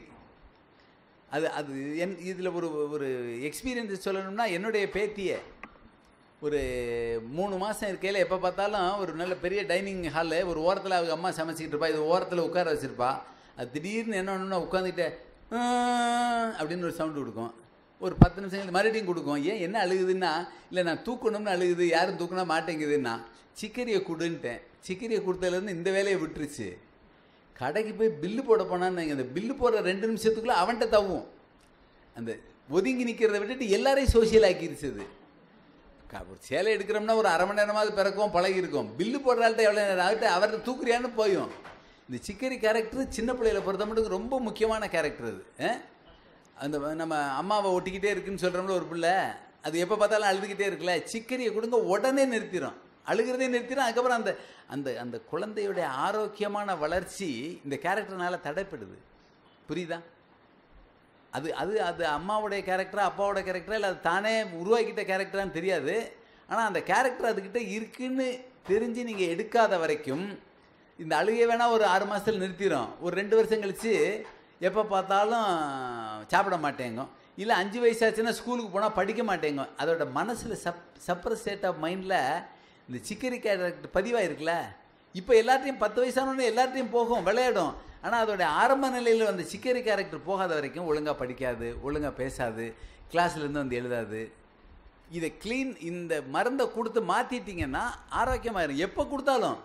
இது சிக்கரி கேரக்டர்னு ஆறு மாதத்தில் தெரிய வேணாம். பத்து வயசில் தெரிஞ்சுன்னு வைங்களேன். உடனே அதோடைய ஆக்டிவிட்டி பூரா மாறிடும் அப்படி ஒரு கேரக்டர் அந்த மருந்து. சின்ன குழந்தைகளுக்கு ரொம்ப அவசியமான மருந்து. இவன் அம்மா பிறந்ததுலேருந்து அழுதுகிட்டே இருக்க பிள்ளைக்கு இந்த சிக்கரியை மாத்திரை நாலு மாத்திரை கொடுத்து பாருங்க. அந்த- மாதிரி ஒரு கேஸ் வந்துச்சு. அப்போ அந்த அம்மாட்ட சொன்னேன் இந்த மருந்தில் ஒரு முக்கியமான விஷயம். அந்த அம்மாவோட தங்கச்சி என்கிட்ட வேலை பார்த்துச்சு. இதை கொடுக்க சொல்லுங்கள் சௌரியமாயிரும்னு சொல்லிவிட்டேன். அப்போ இன்னொன்னையும் சொன்னேன் யாரோ ஒருத்தன் கொடுத்தான்னு சொல்லி மாத்திரையெல்லாம் சின்ன பிள்ளைக்கு கொடுக்க முடியுமா மூணு மாதத்து பிள்ளைக்கு? அது ஏதாவது பண்ணிருச்சுன்னா என்ன பண்ணுறது மாத்திரையை பற்றி தெரியாது. இந்த மருந்து தப்பாக கொடுத்தீங்கனாலும் ஒன்றும் பண்ணாது. கேரக்டர் இல்லாத ஒரு ஆளுக்கு நீங்களாக அசீவ் பண்ணி தப்பாக கொடுத்துட்டீங்கன்னு வைங்களேன். மருந்து வேறு சைடு எஃபெக்ட் பண்ணாது. கரெக்டாக கொடுத்தீங்கன்னா க்யூர் பண்ணிடும் சைடு எஃபெக்டே இல்லாத மருந்து எதை கொடுத்தாலும் யாருக்கு கொடுத்தாலும். ஆனால் அந்த அம்மாவுக்கு தெரியாதுல்ல. அந்த அம்மா கண்ட மருந்து இல்லாமல் நான் கொடுப்பேன்னு கேட்டாங்கன்னா இன்னொரு வேலை பண்ண சொல்லுங்கள் நாலு மாத்திரையை தண்ணியில் போட்டு கரைச்சிட்டு ஒரு ரெண்டு ஸ்பூன் மாத்திரம் கொடுக்க சொல்லுங்கள் அதையும் செய்ய மாட்டேன்ட்டா. இந்த மாத்திரையை அந்த அம்மா வாயில் போட்டுட்டு பாலை கொடுக்க சொல்லுங்கள் சரியாயிரும்னே. இது ப கவலை இல்லாது. நான் பெரிய ஆள் தானே சாப்பிட்றேன்னு அந்த அம்மா மாத்திரையை போட்டுட்டு ஆறு மணிக்கு. ஆ நாலு மாதமாக அழுகுது ராத்திரி பகலா. இந்த மாத்திரையே ராத்திரி ஆறு மணிக்கு அந்த அம்மா போட்டுச்சு பால் கொடுத்துச்சு எட்டு மணிக்கு போட்டுச்சு அன்றைக்கி அன்னைக்கு நைட்ல அது அழுகிறே நிறுத்திடுச்சு. அந்த வழியாக கூட அந்த மருந்து போகக்கூடிய ஆற்றல் உள்ள மருந்து அது. இல்லை உள்ளே கொடுக்க மாட்டேன்னு சொன்னீங்கன்னா அந்த மருந்தை இந்த கையிலையோ கால்லையோ இந்த இந்த இந்த இதுலேயோ தடவுனீங்கன்னா உள்ளே போயிடும் மருந்து. மருந்துடைய வைப்ரேஷன் மருந்துடைய ஆற்றல் அந்த ரெசனன் ஃப்ரீக்குவென்சிலே உள்ளே போயிடும் அப்படி பயந்தீங்கன்னா வெளியே தடவலாம். அவ்வளவு ஆற்றல் உள்ள மருந்து அது எல்லாமே. முப்பத்தெட்டு மருந்தும். கிளிமாட்டிஸ் அப்படின்னு ஒரு மருந்து இருக்குது அதுக்கு அடுத்தது சிக்கரிக்கு அடுத்தது. இது பகல் கனவு காண்றாள் படிக்கிற காலத்தில் உட்காந்துக்கிட்டு நான் ஒரு இண்டஸ்ட்ரி ஆரம்பிக்கணும் நான் கார் வாங்கணும்னு நினச்சிருக்கேன். படிக்கிற அன்னைக்கு படிக்கிறத நினைக்காம. ஒரு வியாபாரம் ஆரம்பிக்கிறதுக்குள்ளே அந்த பெரிய டெக்ஸ்டைல் மில்லை வாங்கிடணும்னு இந்த பகல் கனவு காண்றவனுக்கெல்லாம் கிளிமாட்டிஸ் அப்படிங்கிற மருந்தை கொடுத்தீங்கன்னா வியாதி cure அந்த நிலையிலேருந்து வருவான். கிளிமாட்டி அந்த கேரக்டர் மாத்திரம் நீங்கள் கண்டுபிடிச்சிக்கணும். Clematis for those for those who are daydreamers அப்படின்னு தான் எழுதுவார். கிராப் ஆப்பிள் அப்படின்னு. அதுக்கு அந்த கிராப் ஆப்பிள்ங்கிற மருந்தை பிளட் பியூரிஃபையர் அப்படின்னு தான் அவர் வச்சுருக்காரு. யாரெல்லாம் அடுத்த சேரை தொடறதுக்கு வே அ- அடுத்த பாத்திரத்தை அருவருப்பட்டுக்கிட்டு பாத்ரூமுக்கு போய் த- த- இருக்காங்களோ அதெல்லாம் இம்பியூர் பிளட்டுன்னு அர்த்தம். அதை பியூரிஃபை பண்ணக்கூடிய மருந்து அந்த crab apple for those who are blood பியூரிஃபையர்னே எழுதுவார். இந்த நம்ம நிறைய பேரை பார்த்துருப்போம்ல அடுத்த ஆள் அடுத்த ஆள் சட்டையை தொட்டுற மாட்டார். அவரில் சுத்தம்னு அவர் நினச்சிக்கிறார். அவ்வளோ அசுத்தம் அவருங்கிறது அந்த கேரக்டர் அந்த கிராப் ஆப்பிள் பிளட் பியூரிஃபையர் அவர் எழு- எழுதியிலே for those who are having who have feeling of uncleanliness இந்த இடம் அசுத்தமாக இருக்குது இந்த பாய் அழுக்காக இருக்குது இந்த கார் சீட்டு கிழிஞ்ச மாதிரி இருக்குதுன்னு உட்கார மாட்டேங்கிறாங்கல்ல இந்த கேரக்டர்லாம் அந்த கிராப் ஆப்பிள் கேரக்டர் அடுத்து ஜெனிஷியன் அப்படின்னு ஒரு கேரக்டர் ஜெனிஷியன் மருந்து. இந்த ஜெனிஷியன் கேரக்டர் என்னென்னா எதை கேட்டாலும் டவுட் கேட்டுக்கிட்டே இருப்பாங்க. ஃபுல் செய்ய மாட்டாங்க. பயத்திலே இருப்பாங்க. இந்த மருந்தை சாப்பிடலாமா? அலோபதிக்கு போகலாமா ஹோமியோக்கு போகலாமா இல்லை நீங்கள் சாப்பிட்டா அதே மருந்து நான் சாப்பிடலாமா? மாதிரி கேட்பறவளே சாப்பிடவே மாட்டார். அந்த டவுட் உள்ள பர்சன் பயந்தாள். எதுக்குமே பயந்தாள். செய்யவே மாட்டார். நான் வேலைக்கு போகலாம் பாரு இல்லைன்னா அப்பாவோட பிஸ்னஸுக்கு போகிற மாதிரி ஒன்றையுமே செய்ய மாட்டார். இது போனால் நொடிச்சு போயிருமா பாரு. அந்த character gentian for those for doubt and discouragement தனக்குள்ளே இதை உண்டாக்கிறது. அடுத்து கோர்ஸ் அப்படின்னு ஒரு மருந்து இருக்குது அந்த கேரக்டர் என்னென்னா எந்த மருந்து சாப்பிட்டாலும் எனக்கு வியாதி க்யூர் ஆகலை இனிமேல் எனக்கு லைஃப் அவ்வளோதான் அப்படிங்கிற மாதிரி நினச்சிக்கிட்டு இருக்க எல்லாத்துலேயும் மனசை விட்ட கேரக்டருக்கு அது எல்லாத்துலேயுமே. வியாதின்னு நான் சொல்லிக்கிட்டு இருக்கனாலே இந்த வியாபாரம் பண்ண நடக்கலை அந்த வியாபாரம் பண்ண நடக்கலை இந்த ரயிலில் பிடிக்க போனேன் இடம் கிடைக்கல அந்த பஸ்ஸை பிடிக்க போனேன் இடம் கிடைக்கல மெட்ராஸுக்கு போனால் எதில் பார்த்தாலும் எனக்கு நடக்கலைங்கிற அளவுக்கு அந்த கோர்ஸ் கொடுத்தீங்கன்னா ம மனநிலையை மாறி நார்மல் ஆயிடுவார். மருந்துக்குன்னு சொல்லிக்கிட்டு வரேன். இது மருந்து மாத்திரம் இல்லை வாழ்க்கையோட எவ்ரி ஸ்டெப்புக்கு அது மருந்து. என்ன? ஃபார் வெரி கிரேட் ஹோப்லெஸ்னஸ் அதான் அந்த ஜ- கோர்ஸ் மருந்துடைய இது ஹீத்தர் அப்படின்னு அந்த ஹீத்தர் கேரக்டரு தனிமையில் இருக்க பயப்படுற ஆளுகள்லாம். யாராவது ரெண்டு ஆளோட பேசிக்கிட்டே இருப்பார். தனிமைன்னா ஒரு ஒரு பஸ்ஸில் மூணு பேர் உட்காந்துருந்தா ரெண்டு பேர் இருக்காங்கல்ல? இவர் தனியாக இருக்கமா நினச்சிக்கிட்டு அவர்கிட்ட உங்கள் ஊர் எது சார் இதுன்னு கேட்டுக்கிட்டே கேட்டுட்டு விட மாட்டார். என்ன இப்படி கேட்டுகிட்டே இருக்கல இவருக்கு தனிமையில் இருக்க பயம். அந்த மாதிரி கேரக்டருக்கு ஹீத்தர். இது புக்கில் டீப்பாக படிச்சிங்கன்னா நான் ஒரு சீக்கிரமாக சொல்கிறதுக்காக சொல்லிக்கிட்டு இருக்கேன். புக்கில் ரொம்ப டீட்டெயிலாக எழுதியிருப்பாங்க. அந்த புக்கு ஆத்தர் இதெல்லாம் தரேன். நீங்கள் வாங்கிக்கிறலாம் ஹீத்தர். அடுத்து ஹாலி அப்படின்னு ஒரு மருந்து. அவருடைய இதில். இந்த ஹாலி அப்படிங்கிறது பொறாமை உணர்வு உள்ளவர்களுக்கு அப்படின்னு அந்த மருந்து. பொறாமை உணர்வு எப்படி இருந்தாலும் இந்த பொறாமை உணர்வை சொல்லையில் நான் கொடுத்த கேரக்டர்லாம் சொல்லணும். அப்படின்னா தான் புரியும் ஓரளவு. ஒரு ஏழு வயசு பையன் அடிக்கொருக்கா எங்கேயாவது ஒரு எஜ்ஜில் போய் இடிச்சுக்கிடுவான் தையல் போட்டுருவார் அவங்க அப்பா. இந்த தையல் ஆடுறதுக்குள்ளே ஒரு சைக்கிளில் போய் விழுந்து இடி வாங்கி இன்னொரு தையல் போட்டுருவான். அந்த தையல் ஆடுறதுக்குள்ளே கிளாஸ் ரூமில் ஏதாவது விளையாடுறேன்னு தடுக்கி விழுந்து காலை உடைச்சிட்டு வந்துடுவான் இப்படியே பண்ணிக்கிட்டே வரான். இவர் என்ன வைத்தியத்துக்கு செலவழிக்கிற வழி அவன் சௌரியமாகறதில்ல இந்த பையனுக்கு ஏதாவது ஃப்ளவர் மெடிசின் இருக்கான்னு என்கிட்ட கேட்டு வந்தார். அவருக்கு வேணுங்கிற நண்பர். நான் அப்போ அவர்கிட்ட கேட்டேன் இந்த பையனுக்கு ஏழு வயசில் ஒரு கேரக்டர் டெவலப் ஆகிறது ரொம்ப கஷ்டம். இந்த பையனுக்கு கூட பிறந்த தம்பி தங்கச்சி ஏதாவது இருக்கான்னு கேட்டேன். அதாவது அவர்கிட்ட கேட்டார் ஆமாம்மா இவன் அஞ்சு வயசாக இருக்கையில் ஒரு குழந்தை பிறந்துச்சு. ரெண்டு வயசு ஆகுது அந்த பொண்ணுக்கு. இந்த பையன் விழுக ஆரம்பிச்சது அந்த குழந்தை பிறந்ததுக்கு அப்புறம் தான் இந்த அம்மா அப்பா அந்த சின்ன பிள்ளைய கொஞ்சிறாங்க நம்மளை கொஞ்சலைங்கிற ஒரு பொறாமை உணர்வு மனசுக்குள்ளே வந்தோடனே that is the suppress state of mind அதான் அவனுடைய மனதில் ஏற்பட்ட மயக்க நிலை. இந்த மயக்கத்தில் அம்மா அப்பா நம்மளை பார்க்க மாட்டேங்கிறாங்க கவனிக்க மாட்டேங்கிறாங்க நம்மளை நம்ம கேட்கவும் முடியல. அப்படின்னு நினைவிலே போகிறாங்க ரோட்டில் நடந்து போகிறோங்கிறத நினைக்க தெரியல. இந்த பையனுக்கு ஹாலி தான் சூட்டபிள் மருந்து. ஒரு மூத்த பிள்ளை இருந்துச்சுன்னா ரெண்டாவது பிள்ளை பிறந்தோடனே மூத்த பிள்ளைக்கு கட்டாயமாக ஹாலி கொடுத்துர்லாம் நீங்கள் ஏன்னா அந்த அது அதோடைய மனசில் ஏற்பட்ட செல்லில் ஏற்பட்ட அந்த பொறாமை உணர்வு உடனே எடுத்துரும். இந்த ஹாலி மருந்து அந்த பையன் சாப்பிட்டதுக்கப்புறம் அடிபடவே இல்லை. இன்றைக்கி அந்த ஹாலி மருந்து நீங்கள் ஆஃபீஸில் பார்த்தீங்கன்னா சபார்டினேட்டை பூரா டார்ச்சர் பண்ணிக்கிட்டு இருப்பான். அப்பா அம்மா நம்மளை கவனிக்கலைங்கிற அன்னைக்கு உதிரி மனசில் ஏற்பட்ட வேதனை ஒவ்வொரு ஆளையாக டார்ச்சர் பண்ணுவான். ஆஃபீஸில் அப் சபார்டினேட் அப்பரண்ட் எடுத்தனா வீட்டில் பொண்டாட்டியை டார்ச்சர் பண்ணுவான். அவனுக்கு இதுதான் கேரக்டர் பொறாமை உணர்வு தான் கேரக்டர் இவன் தம்பி தங்கச்சி பிறந்ததுக்கப்புறம் இவனுக்கு ஆயிடுச்சுன்னு நினச்சி ஹாலியை கொடுத்தீங்கன்னா அவ்வளவு காமாயிருவான் இந்த சேட்டையை பண்ண மாட்டான். எந்த வயசில் கொடுத்தாலும். அந்த ஹாலி பொறாமை உணர்வு உள்ளவர்களுக்கு உள்ள மருந்து. For those who suffer from feeling of envy jealousy revenge and suspicion இதுதான் அந்த ஹாலியுடைய குணாதிசயம். அடுத்து ஹனி சக்கிள் அப்படின்னு ஒரு மருந்து. இந்த ஹனி சக்கிள் இதெல்லாம் பூலேருந்தே எடுத்தது தான் அவர் அந்த அந்த நாட்டு பூவுக்கு அந்த பேர் கொடுத்துருக்காரு.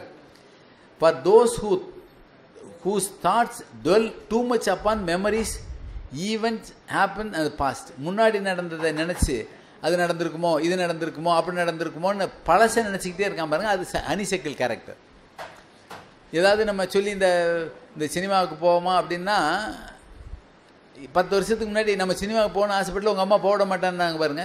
இதெல்லாம் அந்த பழசை நினச்சிக்கிட்டே இருக்க கேரக்டர் நடந்து போன விஷயத்த இன்னைக்கு எதுக்காவது கம்பேர் பண்ணிக்கிட்டே உட்காந்துருக்குல்ல அதுகளுக்கு வர்ற வியாதிக்கெல்லாம் அல்ல வியாதி வரலைனாலும் இதை கொடுத்தாச்சுன்னா வியாதி வராமல் பார்த்துக்கிறோம். ஹனிசக்கிள். அதான் அந்த கேரக்டர் ஹான் பீம் அப்படின்னு ஒரு மருந்து அது வேலை செய்ய ஆரம்பிக்கிறோம் இல்லையா? அந்த வேலை செய்ய ஆரம்பித்து வேலையை முடிக்க போயில ஆரம்பிக்கிறதுக்கு முன்னாடியே இந்த வேலையை நம்ம செய்ய முடியாதோ? அப்படிங்கிற ஒரு ஒரு ஒரு அலுப்பு வருது இல்லை ஆரம்பத்தில் வேலையெல்லாம் செஞ்சு பார்த்து டயர்டானா பரவாயில்ல. இந்த இந்த சேரை தூக்கி போடுங்கண்ணா இதை தூக்கி போட முடியுமா? நம்மளால் இவ்வளோ பெருசாக தூக்க முடியுமான்னு அப்போவே நினைக்கிறாங்க பாருங்கள் அந்த மாதிரி உள்ள கேரக்டருக்கு hornbeam for those who think that they will not have the strength to fulfil their daily task பண்ண முடியாதோன்னு நினைக்கக்கூடிய கேரக்டர் வந்துருச்சுன்னு நம்மளே அந்த அந்த அந்த அந்த இடத்துக்கு போய் இதை வாங்கிட்டு வானா நம்மளால் போயிட்டு வந்துட முடியுமா? அவ்வளோ தூரம் அப்படின்னு நினைக்கிறாங்கல்ல? ஆரம்பத்தில் போயிட்டு அவ்வளோ தூரம் ஆயிடுச்சா மலையில் இவ்வளோ தூரம் என்னால் ஏற முடியாதுன்னா பரவாயில்ல. ஏறணும் இதில் ஏற முடியுமா? அப்படின்னு முதல்ல நினைக்கக்கூடிய நெகட்டிவ் ஸ்டேட் ஆஃப் மைண்டுக்குலாம் அந்த ஹான்பீம் வேலை பார்க்கும். அவருடைய ம உடனே ஹான்பீமை கொடுத்தோன்னா மலை ஏறிடுவோன்னு சொல்ல வரல. அதுக்கப்புறம் அவருடைய வாழ்க்கையில் நல்ல திருப்பங்களோடு இருப்பார். வியாதி இருந்தால் வியாதி இல்லாமல் ஆக்கிடுவார் அடுத்து இம்பேஷன்ஸ் அந்த பேரே தான். பொறுமை இல்லாத ஆள் இருக்காங்க இல்லையா? எதுக்கு எடுத்தாலும் உடனே நடக்கணும் அதை செஞ்சிரு இதை செஞ்சிருன்னு. பொறுமை இல்லாத தனத்துக்கு இம்பேஷன்ஸ் தான் வருது. அந்த கேரக்டர் இம்பேஷண்ட்டாக இருக்க குவாலிட்டியை கண்டுபிடிச்சிங்கன்னா இம்பேஷன்ஸ் கொடுத்தீங்கன்னா நார்மல் ஆகிக்கிடுவார் அடுத்தது லார்ஜ் லார்ஜ் அப்படிங்கிறது தன்னம்பிக்கையே இல்லாமல் இருக்கும்ல. அந்த கேரக்டர் லார்ஜ் கேரக்டர் எதுக்குமே நம்ம லாய்க்கில்லைங்கிற மாதிரி நினச்சிக்கிட்டு இருக்கோம்ல அந்த லார்ஜ் கேரக்டருக்கு வரும். மிம்முலஸ் முதல்ல ஆஸ்பன்னு சொன்னேன்ல அது அன்னோன் ஃபியர் மிம்முலஸ் அப்படிங்கிறது நோன் ஃபியர் மார்க் வாங்கலை ப்ராக்ரஸ் ரிப்போர்ட் அப்பாட்ட கொடுத்தா அடிப்பாரோன்னு பயத்தில் இவன் உட்காந்துருக்கான் பாருங்கள் அதிலே பாதி வியாதி வந்திருக்கும் பாருங்க அதிலே காய்ச்சல் வந்திருக்கும் பாருங்கள் அவனுக்கு மிம்முலஸ் கொடுத்தீங்கன்னா சௌரியமாயிரும் ஆஸ்பத்திரி கூட்டு போனீங்கன்னா சௌரியமாகாது நோன் ஃபியர் இப்போ யார்கிட்டயோ கடை வாங்கினா கொடுக்க முடியல. அந்த ஆள் விரட்டிடுவாரோ விரட்டிடுவாரோ பயந்துக்கிட்டே வியாதியாக படுத்திருந்தேன்னு வைங்களேன். ஆஸ்பத்திரிக்கு கூட்டு போய் என்ன வேணாலும் ஆகாது. இந்த மிம்மலஸை கொடுத்தா சரி கொடுக்குறேனே கொடுத்துக்குறோன்னு அந்த நோன் ஃபியர்லேருந்து வெளியே வந்துடுவாங்க அது மிம்மலஸ் கேரக்டர் ஃபியருக்காகவே அஞ்சு மருந்து வச்சுருக்கார். ஒன்று நோன் ஃபியர் இன்னொன்று அன்னோன் ஃபியர் ஒன்று திகில் பயம் அப்படின்னு வச்சுருக்கார். ஸ்டார் ஆஃப் பெத்தலேம்னு வச்சுருக்கார். இனிமேல் நம்ம வாழ்க்கை ஒரு கேன்சர் பேஷண்ட் வந்துட்டா ஐயோ இனிமேல் அவ்வளோதான் அப்படின்னு நினைக்கிறாருன்னு வைங்களேன். அந்த அளவுக்கு ஆஃப் பெத்தலேம் கொடுத்தால் ஒழிய கேன்சரை க்யூர் பண்ண முடியாது. ஏன்னா அப்படி ஒரு பயம் வந்துருச்சு அவருக்கு. நம்பிக்கை ஒளியாக வேண்டியிருக்கு. அந்த மருந்துக்கு பேரே அதுதான் ஸ்டார் ஆஃப் பெத்லேயம் அது அது அது வரையில் சொல்கிறேன் மிம்மலஸ் ஓக் அப்படின்னு ஒரு கேரக்டர் ஓக் செய்ய முடியாத காரியத்தை செஞ்சு முடிச்சிடலான்னு சாதிச்சுக்கிட்டே இருக்கேம்மா. செய்யவே முடியாதுன்னு எல்லாருக்கும் தெரியும். இதை நான் செஞ்சு முடிக்கிறேன் பார் அப்படிம்மா. ஒரே நாளையில் வீடு கட்ட முடியாது. நான் நாளைக்குள்ளே இதை அவளையும் கட்டி முடிக்கிறேன் பாருமா இந்த மாதிரி கேரக்டர் ஓ கேரக்டர் என்னால் பிரசிடென்ட் ஆகவே முடியாது பிரைம் மினிஸ்டர் ஆகவே முடியாது. நான் கட்டாயம் ஆகிறேன் பாருண்ணா ஒரு நாள் அப்படின்னே சேலஞ்ச் பண்ணிகிட்டு இருக்கேன் ஆனால் இவன் ஓ கேரக்டர்னு அர்த்தம். என்னுடைய நண்பர் ஒருத்தர் இருக்கார். தொண்ணூத்தெட்டு ரன் எடுத்திருப்பார். ஹண்ட்ரட் அடிக்கவே மாட்டாரும்பார். ஒரு மேக்ஸிமம் அடிச்சிருவார். எல்லாருமே விட்டு கூட கொடுத்துருவாங்க. அடிக்கவே மாட்டாரும்பார். இதெல்லாம் அந்த கேரக்டர் செய்ய முடியாத காரியத்தை செய்ய முடியும்னு கிட்டு இருப்பாங்க. அவங்களால செய்ய முடியாத காரியத்தை கட்டாயம் செய்வேன் அப்படிம்பார். அதான் ஓக் அந்த மாதிரி கேரக்டர் நம்மளே இருந்தாலே நம்ம தெரிஞ்சுக்கலாம் நிச்சயமாக இதை செய்ய முடியாது. ஒரு ஒரு ஒரு ஒரு ஒன் ஹவரில் ஒரு மோட்டரை காலத்து பிரித்து மாட்ட முடியாது. போகிறதுக்குள்ளே ஒன் ஹவரில் நான் மாட்டி தரேன்னு பிரித்து பாதியில் போட்டுட்டு ஐயோ வைண்டிங் போயிருக்கு? அல்லது இது போயிருக்குன்னு ஏதாவது சொல்லிக்கிட்டு இருப்போம். அசம்பிள் பண்ணி அந்த கரெக்ட் ஸ்பானர் இல்லைன்னு இருப்போம். ஆனால் முதல்ல செய்ய முடியாது ஒன் ஹவர்லேன்னு தெரிஞ்சே செய்கிறோன்னு சொல்கிறோம்ல அந்த கேரக்டர்லாம் அதான். என்ன இப்போ கோயம்புத்தூரில் இருக்கேன். கசின் கூப்பிட்றான் திண்டுக்கலுக்கு வந்துட்டீங்கன்னா தரல் இன்னொரு ஒன்றரை மணி நேரம் ஒன்றரை மணி நேரத்தில் கட்டாயம் இங்கே இருக்கேன். கட்டாயமாக போக முடியாது. அவ்வளோ சேலஞ்ச் சொல்கிறோம்ல அதுக்கு இந்த மாதிரி வா அவனுடைய வாழ்க்கையில் இதையே சொல்லுவான். செய்ய முடியாத காரியத்தை செய்ய முடியும்னு சேலஞ்ச் பண்ணிக்கிட்டே இருப்பான். அவனுக்கெல்லாம் he comes under oak character olive பாடம் படித்தாலோ அல்லது எது பண்ணாலோ மென்டலி டயர்டாயிடுறேன் பாருங்க. மென்டல் டயர்ட்னஸ் வந்துடுதுல அந்த கேரக்டர் ஆலிவ் கேரக்டர் சும்மா உட்காந்துட்டே மென்டல் டயர்ட் ஆகும். அதுக்குமே ஆளு கேரக்டர் தான். காரை ஓட்டிகிட்டு போகிறோம் பத்து நிமிஷத்தில் அப்பா யாராவது ஓட்டுறீங்களா? என்னை விட்டுட்டா போதுங்கிறோம்ல மென்டல் டயர்ட்னஸ் ஆன மாதிரி வந்துடும் அந்த இதுக்கு ஆலிவ் அப்படிங்கிற மருந்தை கொடுத்தீங்கன்னா மாறிடுவார். அப்புறம் ஏதாவது ஒரு தப்பு நடந்துட்டா அடுத்தது பைன்கிற மருந்து. என்னைட்டு நடந்திருக்குமோ அப்படின்னு தன்னைத்தானே நொந்துக்கிறாங்க பாருங்க. ஏதோ நடந்திருக்கு. இந்த மைக் ஒர்க் பண்ணலை. ஐயோ நான் சுவிச் ஆஃப் பண்ணிவிட்டனோ அப்படின்னு நான் நினைக்கிறேன். நான் ஒன்றுமே பண்ணல அது பாட்டுக்கு. இருந்தாலும் இந்த தவறுக்கு நான் பொறுப்பாக இருக்கணும் அப்படின்னு ஒரு பயம் இருந்துக்கிட்டே இருக்கும் பாருங்க. அதெல்லாம் அந்த பைன் கேரக்டரில் வரும். பைன். அவங்களெல்லாம் என்ன சொல்லுவாருன்னா யார் சொன்னாலும் செய்கிறேன் செய்கிறேன் செய்கிறேன்னு இழுத்து போட்டுக்கிட்டு இருப்பாங்கல்ல. அதெல்லாம் அந்த கேரக்டர் பைன் அப்படின்னு ஒரு கேரக்டர் அடுத்து இந்த பயத்தில் சொன்னதில் ராக் ரோஸ் அப்படின்னு ஒரு மருந்து இருக்குது இந்த rock rose extreme fear terror திடீர்னு ஒரு ஒரு ஒரு கார் ஆக்சிடெண்ட் ஆக போகுதுன்னு வைங்களேன். அப்படியே நம்ம மேலே பாய போகிற மாதிரி வருது. அவ்வளோதான் செத்தோன்னு நினைக்கிறோம் ஒரு த அவன் பிரேக்கை போட்டால் நம்ம தவிட்டோன்னு வைங்களேன். அந்த பயத்திலேருந்து அவர் விடப்படணும்னா ராக் ரோஸை கொடுத்தீங்கன்னா விட்டுரும். அல்லது அந்த பயத்துக்கு அப்புறம் அவரால் தைரியமாக வேலை பார்க்க முடியல போக முடியலன்னா அந்த பய உணர்வு அவருக்கு வந்துருச்சு. அல்லது வீட்டில் திடீர்னு படிச்சுக்கிட்டே இருக்கோம் அப்பாவுக்கு உடம்பு செல்லுன்னு போகிறோம் அப்பா செத்து போயிடுவாருன்னு பயந்து போயிடறான் ஆனால் அப்பா பொழைச்சிட்டாருன்னு வைங்களேன். அதுக்கப்புறம் அவனுக்கு உள்ள பாதிப்புக்கெல்லாம் அந்த ராக் ரோஸ் நல்லா வேலை பார்க்கும். ராக் ரோஸ் அப்படிங்கிறது பார் எக்ஸ்ட்ரீம் ஃபியர் பேனிக் அந்த மாதிரி. இந்த எதுக்கு எடுத்தாலும் சட்டப்படியே நடக்கணும்னு ரிஜிடாக நிற்பாங்கல்ல அவங்களுக்கெல்லாம் ராக் வாட்டர் ரிஜிடிட்டி மைண்டில் எதுக்கு யார் சொன்னாலும் கேட்க மாட்டேன். முயலுக்கு மூணு கால் அப்படின்னு நான் த அரைகுறையாக பார்த்துட்டேன் நான். எங்கேயோ நான் பார்த்தேன் மூணு தான். உலகத்தில் நாளே கிடையாதுன்னு பேசுகிறான் பாருங்கள் அந்த கேரக்டர் பூரா ராக் ரோஸ் ராக் வாட்டர் அப்படிங்கிற character for for those who practise too rigid of self discipline நிறைய பேர் சட்டப்படி நான் நான் சொன்னால் இதை தான் செய்யணும். தப்போ ரைட்டோ இன்றைக்கி தோசை தான் ஊற்றணும் தப்போ ரைட்டோ இதை தான் செய்யணும் வீட்டில் அப்படின்னு ரிஜிட்டாக இருக்காங்கல்ல அந்த கேரக்டருக்கெலாம் இந்த ராக் வாட்டர் அப்படின்னு கொடுத்தீங்கன்னா அந்த கேரக்டர் மாதிரி நார்மலாக மனித அவருக்கு இதெல்லாம் வியாதிக்குன்னு எழுதியிருக்காரு ஒழிய நம்மளுடைய இயல்பான மனநிலைக்கு வர்றதுக்கே நம்மகிட்ட உள்ள நெகட்டிவ் ஸ்டேட் ஆஃப் மைண்ட் என்னென்னு கண்டுபிடிச்சி அவர் அதுக்கு மருந்து எடுத்திருக்காரு. அடுத்தது ஸ்கிர்லாந்தஸ் அப்படின்னு ஒரு மருந்து இருக்குது செய்வோமா வேணாமா? இதை செய்வோமா அதை செய்வோமான்னு தள்ளாட்டத்தில் இருக்காங்கல்ல. அந்த மாதிரி த குடிகாரன் தள்ளாடுற மாதிரி ஆடுறாங்கல்ல. குடிக்க வேணாம். நான் இந்த தொழில் பண்ண நினச்சேன். நாலு நாள் இல்லை இல்லை இது அது ரொம்ப ஃபாரின் எக்ஸ்போர்ட்லாம் மார்க்கெட் நல்லா இல்லையா? அதனால் அது வேணாம். ஷேர் செய்யலாம் ஷேர் செஞ்சால் நிறையா ரூ அடி ஆயிருமா? வேணாம். இல்லை வட்டி கடை வைக்கலாம். வட்டி கடை வாங்கினா நான் அவன் வந்துடுவான் இப்படின்னு எதை டிசைட் பண்ண முடியாதுன்னு அலையிற ஆளுக்கு ஸ்கிர்லாந்தஸ்ங்கிற மருந்து. தள்ளாட்டத்திற்கு ஸ்கிர்லாந்தஸ் அப்படின்னு எழுதுறது for those who cannot make up their mind between two things இந்த வீடை வாங்குவோமா அந்த வீடை வாங்குவோமா? டிசைடே பண்ண மாட்டான். கார் வாங்கணும்னு போனான்னா பெரிய கார் வாங்குவோமா சின்ன வாங்குவோமா? வாங்க டிசைட் பண்ண மாட்டான். அவனுக்கே டிசைட் பண்ண தெரில நம்ம நம்ம வருமானத்துக்கு இப்போ என்கிட்ட டீசல் வாங்குவோமா பெட்ரோல் வாங்குவோமான்னு அலைவான். இதை போய் யார்ட்டையும் கேட்க வேணாம். நம்ம காசுக்கு குறைச்ச ரூபாய்க்கு வாங்கிக்கலாம்னா ஒரு ஒரு லட்ச ரூபா கம்மியாக வாங்கிக்கலாம். இது யார்ட்டையும் கேட்க வேணாம். இல்லை அது பெட்ரோல் சீப்பு பெட்ரோல்னால் விலை கூட ஆகுமா சரி அப்போ டீசல் காரை வாங்கி அது அடிக்கொருக்கா ரிப்பேர் வருமா? இவனால் டிசைட் பண்ண முடியாமல் இருக்காம பாருங்க அந்த கேரக்டருக்கு தள்ளாட்டத்துக்கு ஸ்கிர்லாந்தஸ் அடுத்தது ஸ்டார் ஆஃப் பெத்ரேம் அது ஷாக்கு திடீர்னு கேன்சர் அப்படின்ட்டாங்கன்னு வைங்களேன். அந்த ஆளுக்கு நீங்கள் என்ன மருந்து கொடுத்தாலும் இந்த ஷாக்லேருந்து வெளியே வர மாட்டார். ஸ்டார் ஆஃப் பெத்லேயம் கொடுத்தீங்கன்னா தான் சரி கேன்சர் தானே எல்லாத்துலையும் ஒரு வியாதிங்கிற அளவுக்கு மாறுவார் க்யூர் ஆகும். ஸ்டார் ஆஃப் ரொம்ப முக்கியமான மருந்து. கேன்சருக்கு மாத்திரம் இல்லை எக்ஸாம்பிளுக்கு தான் சொல்கிறேன் ஒரு வியாபாரத்தில் நொடிச்சு போச்சு இனிமேல் வியாபாரத்துக்குள்ளே போக மாட்டேன்னு இருப்பான். அவனுக்கு ஸ்டாராபத்தில் கொடுத்தீங்கன்னா மறுபடியும் அதே வியாபாரத்தை செய்வான். அந்த மாதிரி ஒரு ஷாக்லேருந்து ரிலீஸ் ஆகிறதுக்காக அடுத்து ஸ்வீட் செஸ்னட் வாழ்க்கையில் என்ன செஞ்சு நொடிச்சு போய்கிட்டே இருக்கோம் அதை பண்ணுறோம் இதை பண்ண இனிமேல் முன்னேற்றமே இல்லை அப்படின்னு நினைக்கிற ஆளுக்கு ஸ்வீட் செஸ்னட் கொடுத்தீங்கன்னா மனநிலையெல்லாம் மாறி ஆரோக்கியமான தொழில் ஆரோக்கியமான உடம்பு எல்லாத்துக்கும் வந்துடுவார். ஸ்வீட் செஸ்னட் அடுத்தது vine V I N E vine இந்த பையன்னு சொன்னேன் இல்லையா? யார்? இந்த பையன் கேரக்டரு யார் சொன்னாலும் தட்டாமல் செஞ்சுக்கிட்டே இருப்பாங்களே அதுக்கு அப்படியே ஆப்போசிட் கேரக்டர் ஹிட்லர் கேரக்டர் நான் என்ன பிடிச்சனோ அதுதான் ரைட்டு நான் சொல்கிறத செய்யுங்கிறான்ல?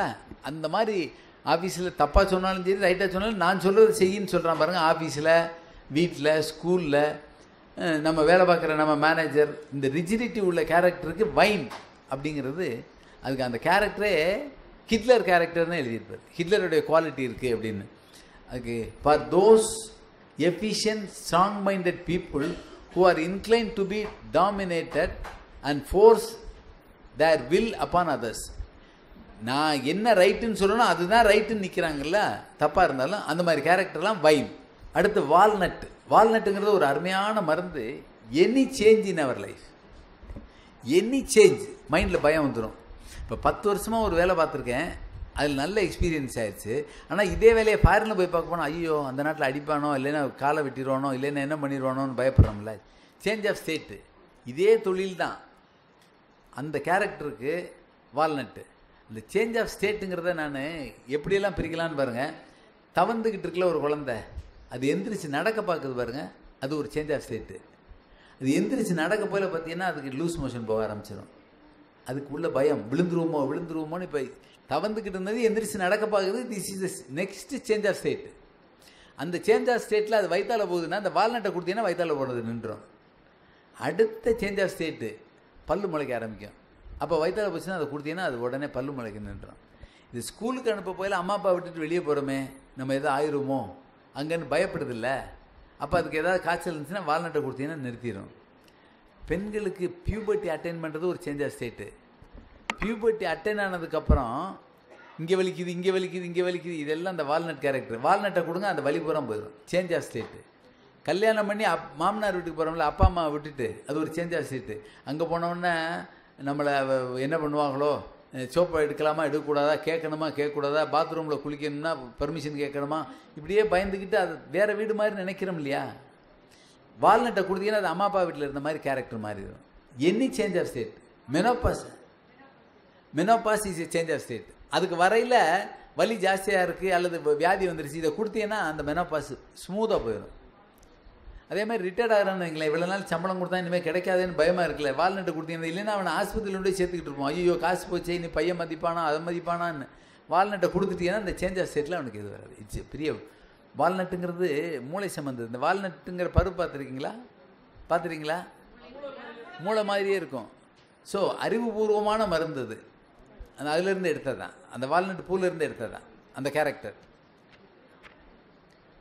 வால்நட்டுக்கு அடுத்து வாட்டர் வயலட் வாட்டர் வயலட்டுங்கிறது அந்த வாட்டர் வயலட் கேரட்டு ரொம்ப ரொம்ப ப்ரௌடாக இருக்காங்கிறோம்ல.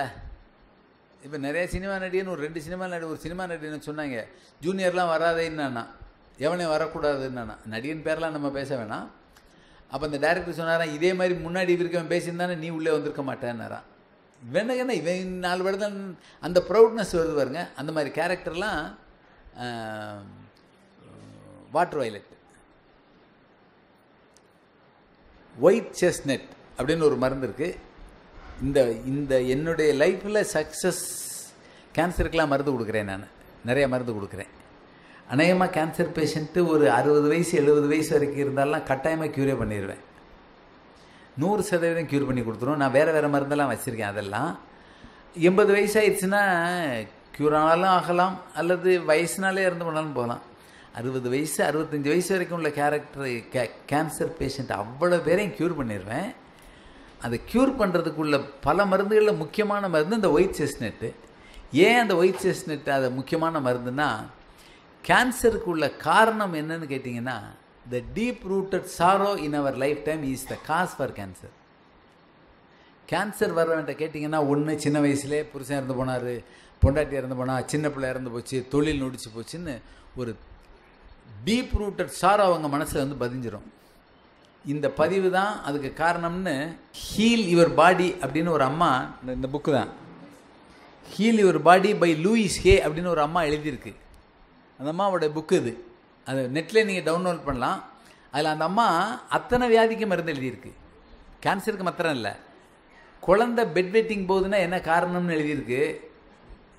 ஒரு பத்து வயசு வரைக்கும் அது பெட்டில் யூரின் போகுதுன்னா என்ன காரணம்னு எழுதியிருக்கு. யாருக்காவது தெரியுமா எதனாலன்னு? யாராவது?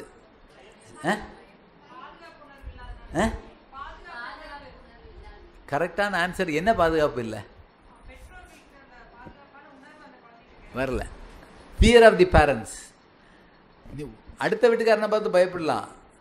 தான் யாரை நம்பி வந்துச்சோ அதுக்கு அதுதான் முதல்ல தெரியும். அந்த அம்மா அப்பாவே அதை பயமுறுத்துச்சுன்னா எங்கே போவோங்கிற பயம் தான் யூரின் பாஸ் பண்ணதுன்னு அந்த அம்மா எழுதியிருக்கு.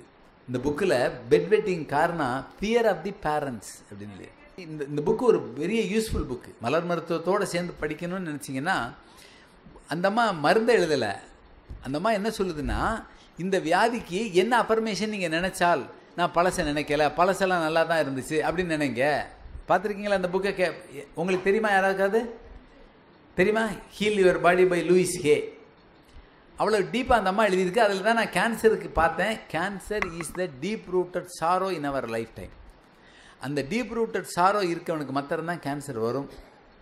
அப்படி என்ன நடந்திருக்கலாம்? என்ன வேணாலும் நடந்திருக்கலாம். தொழிலில் நுழைச்சிருக்கலாம். ஒய்ஃப் இறந்துருக்கலாம். சின்ன வயசு பத்து வயசுல அப்பா இறந்துருக்கலாம் அம்மா இறந்துருக்கலாம். ஒய்ஃபு சின்ன வயசில் இறந்துருக்கலாம். ஹஸ்பண்ட் இறந்துருக்கலாம். இல்லை ரொம்ப பிக்கிள் மைண்டட் பீப்புள் பேனாவை தொலைச்சது கூட டீப் ரூட்டட் சாராவை வச்சுக்கிட்டு இருப்பான். நம்ம என்ன பண்ணுறது அவனுக்கு கூட வரலாம். அதனால.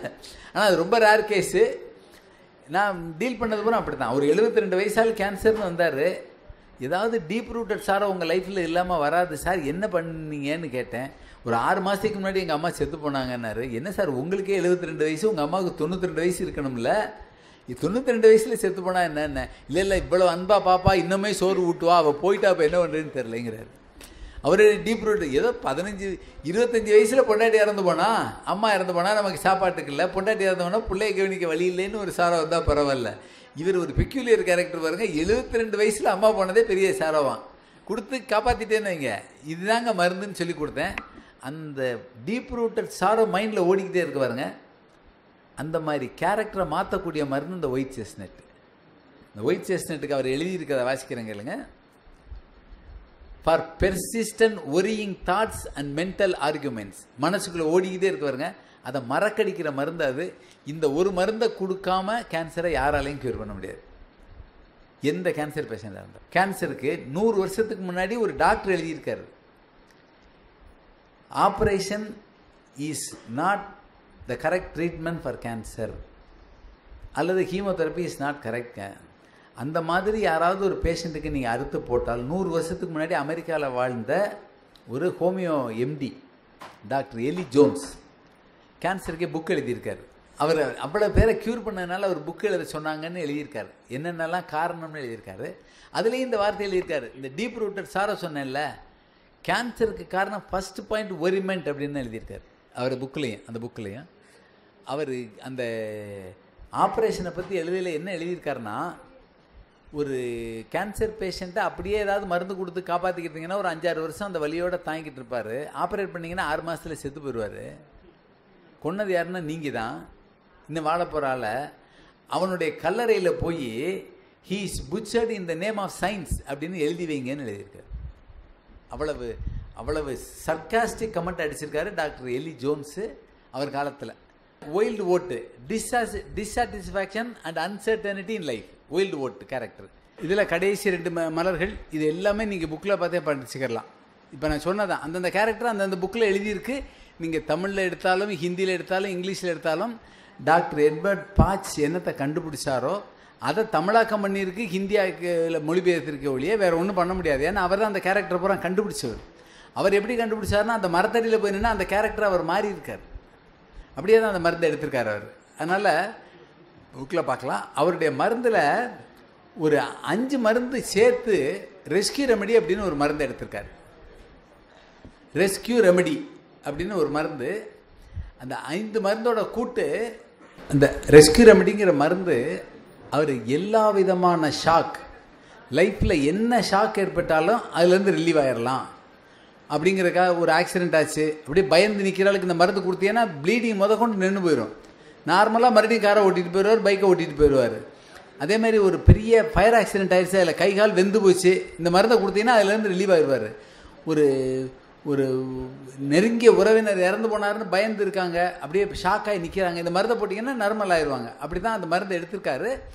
இந்த முப்பத்தெட்டு மருந்துலேயே அந்த அஞ்சு மருந்து ஒன்று செரிபிளம் இன்னொன்று கிளிமாட்டிஸ் இன்னொன்று இம்பேஷன்ஸ் இன்னொன்று ராக்ரோஸ் இன்னொன்று ஸ்டாராபெத்தலேம் இந்த அந்த ஐந்து மருந்தையும் சேர்த்து அவர் ரெஸ்கியூ ரெமடின்னு ஒரு மருந்து எடுத்து வச்சுருந்தார். இந்த ரெஸ்கியூ ரெமடிய மருந்துடைய ஆற்றலை நான் பல முறை டெஸ்ட் பண்ணியிருக்கேன். ஒரு ஒரு பாயிண்ட் மாத்திரம் சொல்கிறேன் அந்த ரெஸ்கியூ ரெமடி மருந்து நம்மளுடைய கார்லேயோ பைக்லேயோ நம்ம டேஷ்போர்டில் இருந்துச்சுன்னா அந்த கார் ஆக்சிடெண்ட்டே ஆகாது. அப்படி ஒரு அருமையான மருந்து அது. எந்த வித பாதிப்புக்கும் சூட் ஆகும். அதை என் நான் என்கிட்ட மருத்துவத்தை பற்றி கேட்கல அதை கொஞ்சம் ஏளனமாக சொன்ன அம்மா ஒரு அக்கிப்ரெஷர் டாக்டர் அம்மா வீட்டில் எல்லா ரூம்லேயும் அதை வச்சுருக்கு. இப்படி ஒரு மருந்தா சார் நான் யோசிக்கவே இல்லை அப்படின்னு. ரெஸ்கியூ ரெமெடி என் பையில் இருக்க வரைக்கும் எந்த லாரியும் என்னை இடிக்காது. அப்படி ஒரு ஆற்றல் மிகுந்த மருந்து. ஏன்னா it is a balance of five elements அவர் எடுத்திருக்காரு. நம்ம யாருக்கும் அவர் அப்படி எடுத்தாரான்னு தெரியாது. பஞ்சபூதங்காலம் நிலம் நீர் நெருப்பு காற்று ஆகாயம் இதில் எது நம்ம உடம்புல கம்மியாக இருந்தாலும் அதை உடனே அதை ஆக்டிவேட் பண்ணி கொடுத்து கூட்டக்கூடிய ஆற்றலோடு அந்த மருந்து இருக்குன்னு அவர் எடுத்திருக்காரு. அந்த மாதிரி தான் நான் பல பேருக்கு யூஸ் பண்ணியிருக்கேன். அது அதுக்கு அதோடைய யார் யாருக்கு எப்படி கொடுத்தேன்னு சொல்லணும்னாலே ரெண்டு நாள் வேணும். அவ்வளோ பேரும் சௌரியமாக இருக்காங்க நினச்ச மாத்திரத்தில். நான் அந்த மருந்தை கொடுத்து தான் எனக்கு கீழே வேலை பார்த்த ஒரு இன்ஜினியரோட ஒய்ஃபை ரெண்டு வருஷம் படுத்த படுக்கையாக இருந்த ஒரு பைத்தியம். ஒரு வெள்ளிக்கிழமை கொடுத்தே சனிக்கிழமை காலையில் அந்த அம்மா சௌரியமாயிருச்சு ஆஃப்டர் டூ இயர்ஸ் ஏன்னா அந்த அம்மாவுக்கு அந்த ஒரு பய உணர்வு வந்திருக்குங்கிறத நான் கண்டுபிடிச்சேன். அது அவங்க ஹஸ்பண்டு பண்ண சேட்டை தான் தெரிஞ்சு அது கொடுத்த உடனே அந்த அம்மா அசந்து பண்ணார் எட்டு லட்ச ரூபா செலவழிச்சிருக்கேன் சார் இது வரைக்கும் ஒன்றுமே பண்ண முடியலை. இந்த மருந்து விலை க்யூர் பண்ணிருச்சுன்னார். அந்த ரெஸ்கியூ ரெமெடி எல்லார் வீட்லேயும் அவசியம் இருக்க வேண்டிய ஒரு மருந்து. நீங்கள் தனியாக வாங்க த- த- வாங்கி கலக்கணும்னு அவசியம் இல்லை. ரெஸ்க்யூ ரெமடின்னு கேளுங்க. பேர் மறந்து போச்சுன்னா ஃப்ளவர் மெடிசின் கடையில் ஆர்ஆர்னு கேட்டிங்கன்னா எடுத்து கொடுத்துருவாங்க. அவ்வளவு வேலைக்கும் கை ஆர்ஆர் ரெஸ்க்யூ ரெமடி அந்த க- க- ஏதாவது இதில் அயன் பாக்ஸ் சுட்டுருச்சு குக்கர் சுட்டுருச்சு அப்படிங்கிற இடத்துல அதை அந்த மருந்தை தண்ணியில் ஊற்றி லேசாக கையில் ஊற்றிட்டு பாதியை குடிச்சிட்டிங்கன்னா ஒரு மூணு நாள் குடிங்க தோல் மாத்திரம் உறிஞ்சி வெளியே வரும் ஒரு பாதிப்பும் இருக்காது. எவ்வளோ வெந்து போனாலும். அதே மாதிரி கை கால் அடிபட்டாலும் சரி அல்லது ஒரு மேஜர் ஃபயர் ஆக்சிடென்ட்ல அடிபட்டாலுக்கே ரெஸ்க்யூ ரெமடி மத்திரம் கொடுத்துக்கிட்டு இருங்க அந்த ஆள் சௌரியமே வந்துடும் அப்படி ஒரு மருந்து அது. எல்லா ஹோமியோ மருந்து கடையிலையும் ஃப்ளவர் மெடிசன் கிடைக்கும். எல்லா ஹோமியோ மருந்து கடையிலையும் கிடைக்கும். எவ்வளோ ரூபாய்க்கு கிடைக்கும்னு பார்த்தீங்கன்னா ஒரு இருபது ரூபாய்க்கு டைல்யூஷனாக வாங்கலாம். அப்படி இல்லைன்னா இருபது ரூபாய்க்கு இந்த மாதிரி குளோபியூல்ஸில் போட்டும் வாங்கிக்கிறலாம் ஜீனி உருண்டையில் ஹோமியோ மருந்து மாதிரியே. இருபது ரூபாய்க்கு கேட்டிங்கன்னா இல்லை நாலில் ஒரு பங்கு கொடுப்பாங்க. இந்த இந்த இருபது ரூபா மருந்தை வச்சு நீங்கள் நாலு பேஷண்ட்டு கொடுக்கலாம். அவ்வளோ சீப் அது. இந்த ஃப்ளவர் மெடிசின் இருபது ரூபாய்க்கு வாங்கிட்டு வர டைல்யூஷன் ஒரு டென் எம்எல்லோ டுவெண்ட்டி எம்எல்ஓ இருக்கும். நீங்கள் ஒவ்வொரு பேஷண்ட்டுக்கு நாலு எம்எல் தான் ஊற்ற போறீங்க. அப்படி அஞ்சு பேஷண்ட்டுக்கு அந்த மருந்து தேவைன்னா கொடுக்கலாம். இருபது ரூபாயில் முடிஞ்சு போயிடும். தப்பாக கொடுத்துட்டிங்கனாலும் அந்த பேஷண்ட் க்யூர் தான் ஆக மாட்டார் வழியே வேறு சைடு எஃபெக்ட் வராது. எந்த மருந்தை முப்பத்தெட்டு மருந்தையும் இவர் பொறாமக்காரர் நினச்சி நம்ம கொடுத்தோம். பொறா ஆள் இல்லை பொறாமை உணர்வு இல்லைன்னா கூட மருந்து சைடு எஃபெக்ட் பண்ணாதே ஒழிய வியாதி வேணால் கியூராது அந்த மாதிரி முப்பத்தெட்டு மருந்தை யாருக்கு வேணாலும் கொடுக்கலாம் பிறந்த பிள்ளைக்கே கொடுக்கலாம். நான் என்னுடைய நண்பர்கள் யாராவது குழந்தை பிறந்திருக்குன்னு கூப்பிட்டாங்கன்னா ரெஸ்கியூ ரெமடியை தான் பையில் வச்சுருப்பேன். போனவுடனே அவங்க ஜீனியை வாயில் வச்சுட்டு போங்கம்மாங்க. நான் என் ரெஸ்கியூ ரெமடியை எடுத்து நசுக்கி வாயில் வச்சுருவேன். சொல்லிட்டு சொல்லுவேன். இந்த நம்மளுடைய பிறவி கர்மாங்கிறது தி இம்பேலன்ஸ் ஆஃப் எலிமெண்ட்ஸ் நிலம் நீர் நெருப்பு காற்று ஆகாயம் பிறந்த அன்னைக்கு இது பேலன்ஸ் பண்ணிடும் அந்த பிள்ளைக்கு எல்லா வியாதியும் இல்லாமல் ஆக்கிடும் இறந்து போகிற அன்னைக்கு இதே மாத்திரையை கொடுத்தீங்கன்னா இது செஞ்ச பாவத்தை பூரா இங்கேயே விட்டுட்டு போயிடும் ஆன்மா. பேலன்ஸ் பண்ணிடும் உடனே. அப்படி ஒரு ஆற்றல் மிகுந்த மருந்துன்னு சொல்லிட்டு தான் கொடுப்பேன். அதை அதை விட சிறந்த மருந்து உலகத்தில் வேறு ஒன்று இருக்கவே முடியாது. இந்த ரெஸ்கியூ ரெமடி மாதிரி. அதை நம்மளுடைய நம்மளுடைய அக்கிப்ரெஷர் நிறைய பேருக்கு தெரியும் இல்லையா இதில்? பை எல்லியன்ஸ் நிலம் நீர் நெருப்பு காற்று ஆகாயம். இந்த நிலம் மையம் எங்கே இருக்குது நீர் மையம் எங்கே இருக்குது காற்று மையம் எங்கே இருக்குது மூலாதாரம் சுவாதிஷ்டானம் மணிப்புரம் அனாகதம் விசித்தி. இந்த அஞ்சு தான். இது நிலம் இது நீர் இது அக்னி இது காற்று இது கடவுள் மையம். இந்த அஞ்சையும் பேலன்ஸ் பண்ணக்கூடிய மருந்து ரெஸ்கியூ ரெமடி இந்த அஞ்சையும் பேலன்ஸ் பண்ணக்கூடிய மெட்டல் தங்கம் வெள்ளி காப்பர் இரும்பு ஈயம். இதான் நம்ம கோயில் சிலைகளில் செஞ்சுருக்க காம்பினேஷன் ஆஃப் பஞ்சலோகம் அதே மாதிரி பால் தயிர் கோமியம் கோஜலம் நெய். இது அவளையும் சேர்த்து பஞ்சகாவியம்னு வச்சுருக்கோம். பஞ்சகாவியம்னு இந்த ஐயர் வந்தாருன்னா வீட்டில் எல்லாரும் குடிங்கன்னு கொடுப்பாரு. அதுவும் it balances the five element அல்லது சித்த வைத்தியத்தில் பஞ்சகாரண்யம்னு ஒரு மருந்து இருக்குது இந்த இம்பேலன்ஸ் ஆஃப் பை அதை பேலன்ஸ் பண்ணும். இது அவ்வளவையும் தேடி போனால் பத்து ரூபாய்க்கு ரெஸ்கியூ பண்ணி வந்தீங்கன்னா பத்து பேருக்கு கொடுத்துடலாம். Balances the five elements of the body அவ்வளோ அருமையான மருந்து அது ரெஸ்கியூ ரெமடி ஃப்ளவர் மெடிசனுடைய ஐந்து பூக்களுடைய ஐந்து மருந்துகளுடைய காம்பினேஷன் தான் அது. அதுக்கு ரெஸ்கியூ ரெமடின்னு பேர் கொடுத்துருக்காரு. இதான் முப்பத்தெட்டு மருந்து. தயாரிக்கும் முறை எப்படின்னு ஒரு க சொல்லிடுறேன். ஏன்னா இதுதான் உலகம் முழுவதும் பேசக்கூடிய ஃப்ளவர் மெடிசன் இதோட முடிச்சிடுறோம். இந்த ஃப்ளவர் மெடிசனை நம்ம தயாரித்தா என்னன்னு நான் கண்டுபிடிச்சேன் ஒரு பத்து ரெண்டாயிரத்துலேருந்து. அவர் எப்படி தயாரிக்கிறாரோ அதே மாதிரி நம்ம சித்த வைத்திய மூலிகையெல்லாம் போட்டு தயாரித்து எடுத்து ஆஸ்துமாவுக்கு பிளட் கேன்சருக்கு பிபிக்கு சுகருக்கு சுகருக்குல கேன்சருக்குன்னு நான் கொடுக்குறேன். அது ஒரு அது ஒரு தனி சிஸ்டம் ஆஃப் ஃப்ளவர் மெடிசின் நான் மாத்திரம் தான் பண்ணுறேன் அது எப்படி தயாரிக்கிறதுன்னு ஒரு புக்கில் எடுத்தனால எனக்கு தெரிஞ்சிச்சு. ஒரு பிளாஸ்டிக் கண்டெய்னர் மாதிரி பெட் பாட்டில் மாதிரி அல்லது கிளாஸ் டம்ளர் மாதிரி ஒரு டம்ளரில் ஒரு ஐம்பது எம்எல் அறுபது எம்எல் டிஎம் வாட்டர்னு பேர். டிமினரலைஸ் வாட்டர்னு பேர். அது வேற ஒன்றும் இல்லை மழை தண்ணி மாதிரி தண்ணி. அது நிறைய இடங்களில் தயாரிக்கவே செய்கிறாங்க எந் மழை தண்ணியில் எந்த உப்பும் இல்லாத மாதிரி அதில் உப்பே இருக்காது. அதில் எந்த பூவை போடுறீங்களோ அதோடைய மருத்துவ குணம் அதோட ஆல்கலாய்ட்ஸ் அதில் இறங்கிடும் நாலு மணி நேரம் வெயிலில் வைக்கணும். அந்த தண்ணியில் போட்டு. பூ கணக்கே கிடையாது. நாலு பூ வைக்கலாம் ஏழு பூ வைக்கலாம் எட்டு பூ வைக்கலாம் ஐம்பது எம்எல் தண்ணி வைக்கலாம் நூறு எம்எல் தண்ணி வைக்கலாம். ஒரு நல்ல ஹாட் சன்னி டேயில் மூணு மணி நேரம் வச்சா போதும். கொஞ்சம் டிம்மாக இருந்தால் நாலு மணி நேரம் வச்சுட்டு அந்த தண்ணியை மாத்திரம் இருத்து அது கெட்டு போகாமல் ஜின் ஆல்கஹால் பிராந்தி இதில் ப்ரிசர்வ் பண்ணி வச்சுக்கிறணும் அது ஜீனி உருண்டையில் போட்டு கொடுத்தா நல்லா வேலை பார்க்கும். அப்படி நான் எடுத்த மருந்தில் எல்லாருக்கும் தெரிஞ்ச மருந்து அம்மா பார்த்துட்டா வேப்பிலையை வச்சு தான் அடிக்கிறோம்.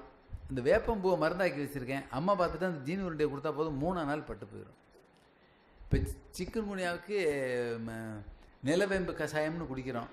நிலவேம்பு பூவிலேருந்து எடுத்து வச்சுருக்கேன். நிலவேம்பு கஷாயம் குடிச்சு பார்த்துருக்கீங்களா? கசப்பு தாங்காது.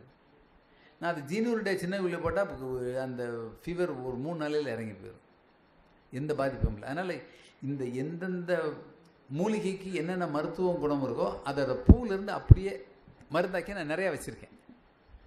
நான் என்னுடைய தனி சிஸ்டமாக டெவலப் பண்ணி வச்சுருக்கேன். எனக்கு நண்பர்களாக இருந்து கேட்குறவங்களுக்கெல்லாம் எப்படி செய்கிறதுன்னு சொல்லி கொடுத்து செய்கிறாங்க அதில் இந்த ம இந்த அந்த மெத்தடையும் அவருடைய புக்கில் இருக்குது how to prepare the remedies அப்படின்னு. அதை பார்த்து படிச்சிட்டிங்கன்னா போதும். இன்னும் ஒரு பெரிய புக்கெல்லாம் வாங்கினீங்கன்னா எப்படி கவுன்சிலிங் பண்ணுறதெல்லாம் இருக்குது எப்படி பேஷண்ட்டை கேட்கணும் கேள்வி கேட்கணும் எப்படி பண்ணிங்கன்னா அவர் என்ன பதில் சொல்கிறாருன்னு அதை வச்சே நீங்கள் மலர் மருத்துவம். கம்ப்ளீட்டாகவே புக்கு ஆத்தர் மாத்திரம் எந்த ஹோமியோ மருந்து கடையில் கேட்டாலும் வச்சுருக்காங்க.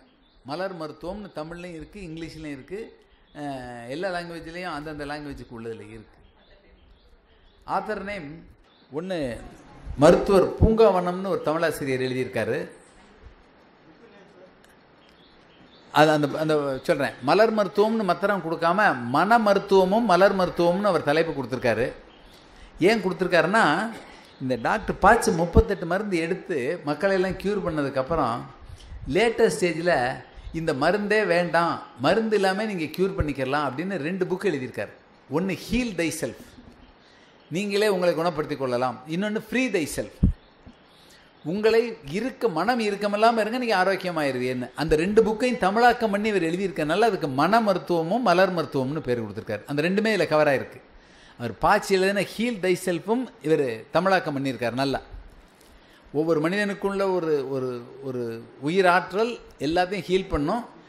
ஹீல் பண்ண விடாமல் நிறுத்தக்கூடிய அந்த ஈகோயிஸ்டி கேரக்டரை எடுக்கிற வரைக்கும் அதை நீங்களே நம்ம நம்ம கோவக்காரனாக இருக்கோம் ஏன் கோவப்படணும் பொறாமக்காரனாக இருக்கேன் ஏன் பொறாமப்படணும் அப்படிங்கிற கேரக்டரை உங்களுடைய மெடிடேஷனில் எடுத்துட்டிங்கன்னா இந்த ஹீலிங் பவர் தானாக உங்களை க்யூர் பண்ணிடுங்கிற மாதிரி தான் அவரும் எழுதியிருக்காரு இவன் எழுதியிருக்கார்.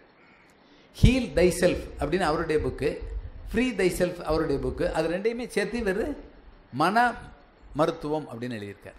மனமது அது செம்மையானால் மந்திரங்கள் வேண்டாம் வேண்டாம் நம்ம சொன்னதும் மனத்துக்கண் மாசு இளன் ஆதல் அனைத்து அரண் ஆகல நேருவர். மனத்துக்கண் சுத்தமாக இருந்துட்டீங்கன்னா வேற எந்த தர்மம் பண்ணாலும் கிடைக்காத புண்ணியம் இதில் கிடைக்கும். மித்த தர்மம்லாம் நீங்களாக உங்களை ஏமாத்திக்கிட்டு பண்ணிக்கிறீங்களே தர்மம் இல்லை உங்கள் ஆரோக்கியம் இல்லைங்கிறது தான் அந்த குரலுக்கு அர்த்தமே.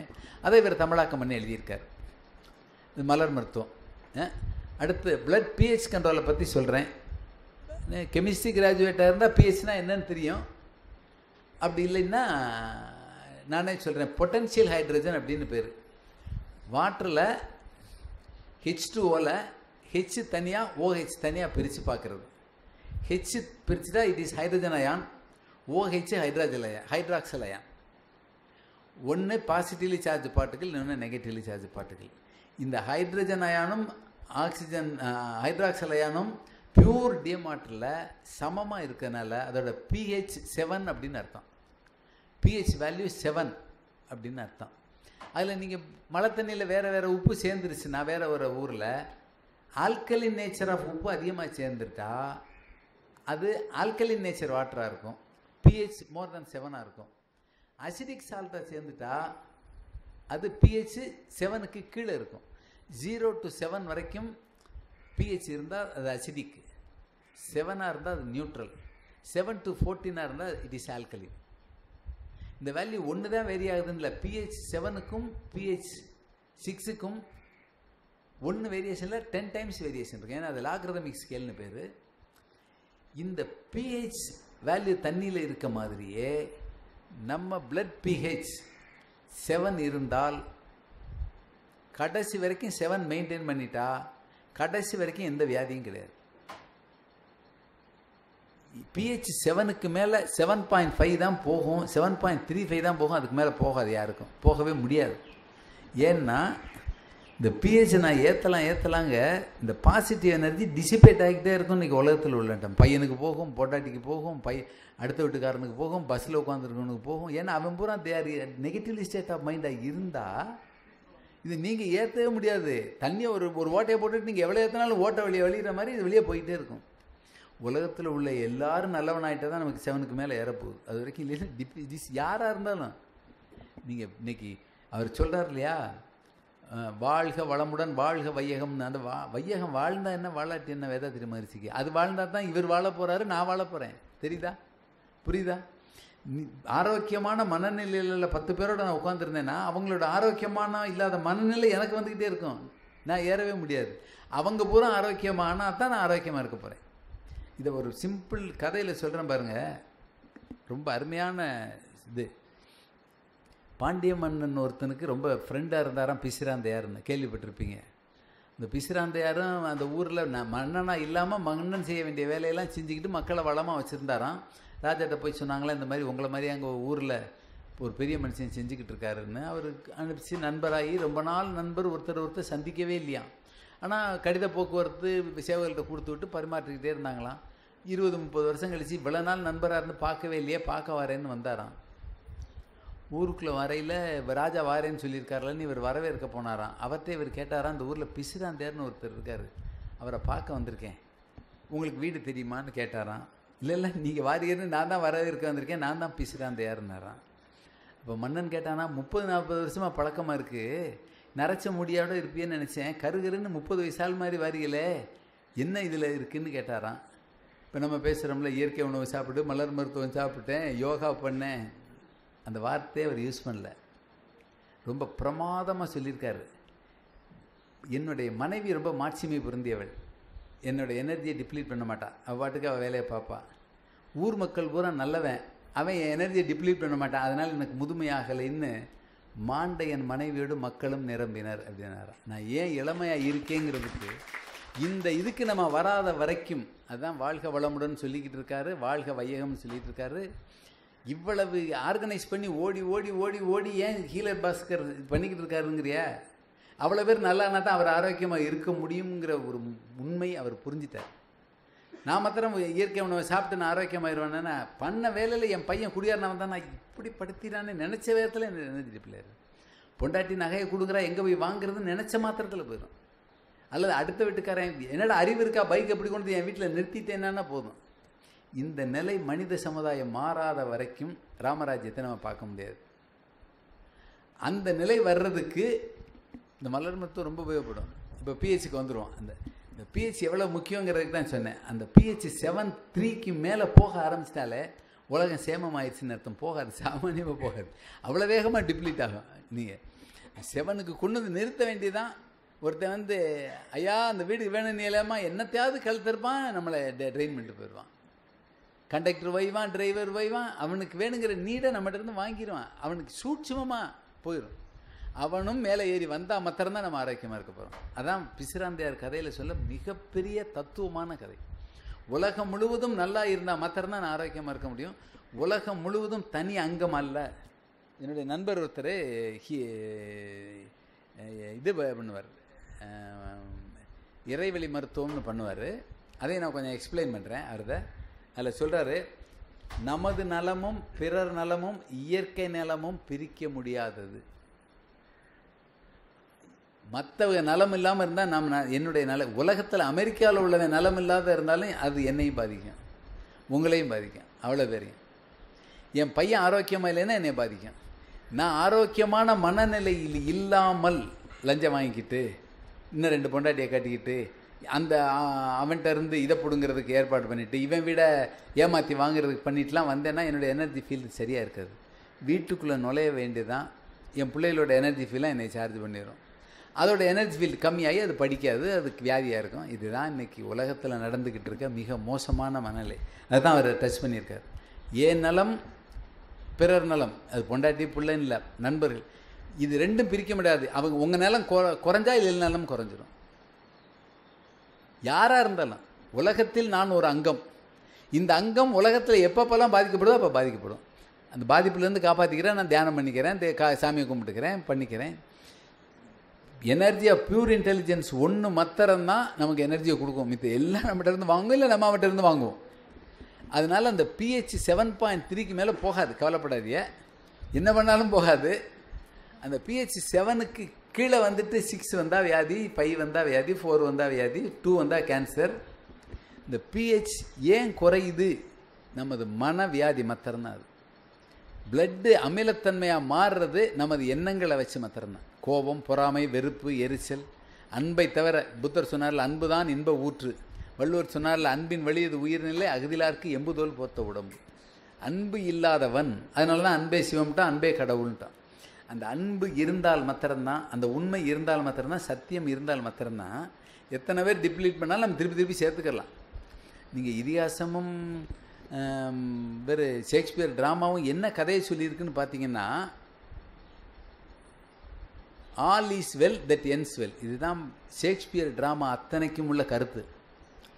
All is well that ends well என் வாழ்க்கையில் நல்ல வாழ்க்கை வாழ்ந்திருக்கேன்னா என்னுடைய முடிவு நல்ல வாழ்க்கையாக இருக்கும். நீங்கள் ராமாயணத்திலே மகாபாரதத்துலேயும் போனால் ராஜா இருந்தவன் ஏன் இதுக்கு போனால் சாமியா அவதாரம் எடுத்தவர் ஏன் கஷ்டப்பட்டாருன்னு கேட்டால் அவருக்கும் அந்த பாதிப்பெல்லாம் இருக்கும். அந்த பாதிப்புலேருந்து வெளியே வர நேர்மையாக வாழ்ந்தால் முடிவு நல்லதாக இருக்கும். ஷேக்ஸ்பியர் ட்ராமாலாம் காமெடி ட்ராஜடி அப்படின்னா காமெடியிலையும் கஷ்டங்கள் இருக்கும். ட்ராஜடியிலையும் சந்தோஷமான விஷயம் இருக்கும். இந்த tragedy ends with sorrow comedy N with happiness ஏன் நடக்குதுன்னா நீ நல்லா வாழ்ந்துருந்தால் நல்லது நடக்கும். கெட்டால் வாழ்ந்துருந்தால் கெட்டதான் நடக்கும். அது எனக்கு மாத்திரம் இல்லை என் பையனுக்கு என் பேரனுக்கு எல்லாருக்கும். நான் என்னத்தை விட்டுட்டு போனனோ அதை மாத்திரம்தான் அவங்க அறுக்க முடியும். இந்த எனர்ஜி ஃபீல்டில் என்ன அழுக்கை விட்டுட்டு போகிறனோ இன்னும் சிம்பிளாக சொல்லணும்னா ஒரு தோட்டத்தில் போனீங்கன்னா ராஜா மலரும் இருக்குது மல்லிகை மலரும் இருக்குது எல்லா மலரும் இருக்குது ஒன்றில் ரோஜா மலர் வர வேண்டிய அவசியம் என்ன? இன்னொன்றில் மல்லிகை மலர் வேண்டி இருக்குன்னா ரோஜா மலர் தன்னுடைய மனத்தை பரப்பி விட்டுட்டு போயிருக்குல்ல? அதை பார்த்து தான் அதோட குழந்தை எடுக்கும். அதேமாதிரி நான் என்ன மனத்தை விட்டுட்டு போனோனோ அதை தான் என் பிள்ளை எடுப்பான் என் பேரன் எடுப்பான். நல்லதை விட்டுட்டு போனால் நல்லதை எடுப்பான் கெட்டதை விட்டுட்டு போனால் கெட்டதை எடுப்பான். நான் எந்த அளவுக்கு நல்லது செஞ்சு செஞ்சு என்னுடைய எனர்ஜி ஃபீல்டை விட்டுட்டு போகிறேனோ அதை மாத்திரம் தான் அவனுடைய உணர்வு அலைகள் எடுக்க முடியும். ரோஜா மலர் எப்படி தன்னுடைய ரோஜா செடி எப்படி தன்னுடைய பரம்பரையில் முன்னோர்களான ரோஜா மலர் விட்டுட்டு போனோம்னா இயற்கையில் எங்கே வேணாலும் இருக்குது அது சூரிய பலம் கொண்டு பலவங்காக எடுக்குது. அதை மல்லிகை மலர் எடுக்காது. மல்லிகை பொருள் இருந்தால் அதை எடுக்கும். அதேமாரி என் பிள்ளை ஏன் நான் விட்டுட்டு போனது தான் எடுக்கும். அந்த பாவங்கள் செய்யாமல் இருந்தால் பரம்பரை நல்லாயிருக்கும் இன்றைக்கி பாதி வியாதிக்கு அம்மா அப்பா செஞ்ச பாவங்கள் மாத்திரம்தான் காரணம். இந்த எனர்ஜி ஃபீல்டுன்னு சொல்கிற பாசிட்டிவ் எனர்ஜி டிப்ளீட் ஆகிட்டா அங்கேருந்து பாசிட்டிவ் எனர்ஜி வந்துடும் பாசிட்டிவ் எனர்ஜி அதிகமாக இருந்தால் இங்கேருந்து அங்கே போயிடும் நான் நல்லது செஞ்சுக்கிட்டே இருந்தால் என் பிள்ளை நல்லதாக இருக்கும். கெட்டது செஞ்சுக்கிட்டு இருந்தால் என் எனர்ஜி குறைய குறைய கோபம் நான் ஒரு உதாரணம் சொல்கிறேன் கேளுங்க. எவ்வளவு சீக்கிரமாக எனர்ஜி கெட்டு போச்சுன்னு குழாயடியில் சண்டை போட்டுட்டு வந்தாலாம் ஒருத்தி. அப்போவே கோபம் பொறாமை விரிச்சலோடு வரா. வீட்டில் உட்காந்துட்டு வந்து உட்காந்த உடனே பிள்ளைய தூக்கி பால் கொடுத்துக்கிட்டே சாயங்காலம் என் புருஷன் வரட்டும் உன்னை அருவாளை வச்சு வெட்டுறேன் பாரு ஆய்வுன்னுக்கிட்டே இருந்தா. இந்த கோபத்தில் இப்போ பிளட் பூரா அசிடிக் ஆச்சு இந்த அமில பாலை குடிச்சிச்சு அந்த பிள்ளை செத்து போய் நுரத்தள்ளி செத்து போச்சு. இது நடந்த உண்மை. இன்றைக்கி பாதி பிள்ளைகளோட வியாதி அம்மா அப்பாவுடைய வெறுப்பான உணர்வுகளில் வர்றதான ஒழிய இயற்கையில் அது முளைக்கலை இது முளைக்கலை எல்லாம் பொல்யூஷன் விடுதுன்னு நம்ம விடுற பொல்யூஷன் இது தான் பரம்பரை நல்லா இல்லை. அதை மாற்றாத வரைக்கும் புள்ள ஆரோக்கியத்தை நீங்கள் போய் மாற்றலாம் இன்றைக்கி ஆஸ்துமாலேருந்து க்யூர் பண்ணலாம். நாளைக்கு போன் பெ பெண்ட் ஆயிடுச்சுன்னு போவீங்க. நாளை கழிச்சு வயிற்று வலிக்குதுன்னு போவீங்க. நாளை கழிச்சு ஒரு கட்டி வந்துருச்சுன்னு போவீங்க. நாளை கழிச்சு இருமல் வந்துருச்சுன்னு போய்கிட்டு இருப்போம். அதுக்கப்புறம் கண்ணில் கட்டி வந்துருச்சுன்னு. இது அவ்வளவும் எந்த கடவுளும் என்ன நினச்சாலும் அவனை க்யூர் பண்ண முடியாது அவனை கெடுக்க முடியாது. தாய் தந்தை ஒழுங்காக இருந்தால் அந்த எனர்ஜி ஃபீல் அந்த அந்த குழந்தையுடைய கிரியேட்டர் ஒழுங்காக இருந்தால் எந்த கடவுளும் அதுக்கு கெட்டதை அனுப்பவே முடியாது. உள்ளேயே வராது. இவங்க அயோக்கியத்தனமாக வாழ்ந்தால் எந்த கடவுளும் அந்த குழந்தைக்கு நல்லா செய்ய முடியாது. எந்த கோயிலுக்கு போனாலும் செய்ய முடியாது. கோயிலுக்கு போயிட்டு நீங்கள் வாங்கிட்டு வர வேண்டியது அந்த பாசிட்டிவ் எனர்ஜி. வீட்டுக்குள்ளே வந்தவொடனே அம்மாவும் அப்பாவும் லஞ்சம் வாங்கினது கோவப்பட்டது பொறாமப்பட்டது எரிச்சப்பட்டது அவ்வளவும் அந்த சூழ்நிலையில் நிற்க நிற்க அந்த காந்த சக்தியை தான் அந்த வாங்கும். பாசிட்டிவ் எனர்ஜி நெகட்டிவ் எனர்ஜிங்கிறத பிஹெச்சில் சொல்கிற அசிடிக் ஆல்கலின் நான் நல்லவனாக இருந்து ஆல்கலின் ரேஸை எலிமினேட் பண்ணால் என் பிள்ளை அதை வாங்கும். நான் அசிடிக் ரேஸை வெளியே விட்டால் அதை தான் வாங்கும். அதை வாங்கி அந்த பிள்ளை ஆரோக்கியம் இல்லாமல் போகத்தான் செய்யும். நீங்கள் எங்கே போனாலும் க்யூர் பண்ண முடியாது. க்யூர் பண்ணோம்னு நினச்சிட்டீங்கன்னா இன்னொரு ஒரு மாதம் கழித்து வேறு ஒன்று வரப்போகுதுன்னு அர்த்தமே வெளியே க்யூர்னு அர்த்தம் இல்லை.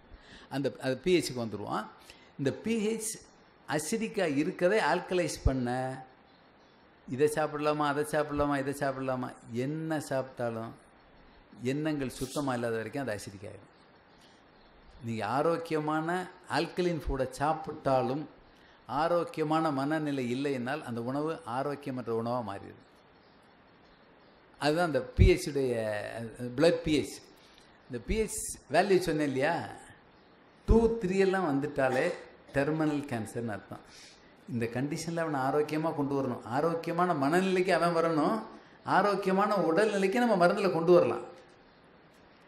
அதுக்காக உள்ள ஃபுட் என்னன்னு சொல்கிறேன் விளக்கெண்ணெய் இருக்குல்ல அது ஹைலி ஆல்கலின் அதை ஊற்றி இட்லி இட்லி மாவோட சேர்த்து அரைச்சி கொடுத்தீங்கன்னா பத்து நாளையில் பிளட் அசிடிக் பிளட் ஆல்கலினாக மாறிடும். ஹைலி ஆல்கலின் நேச்சர் ஃபுட் அது.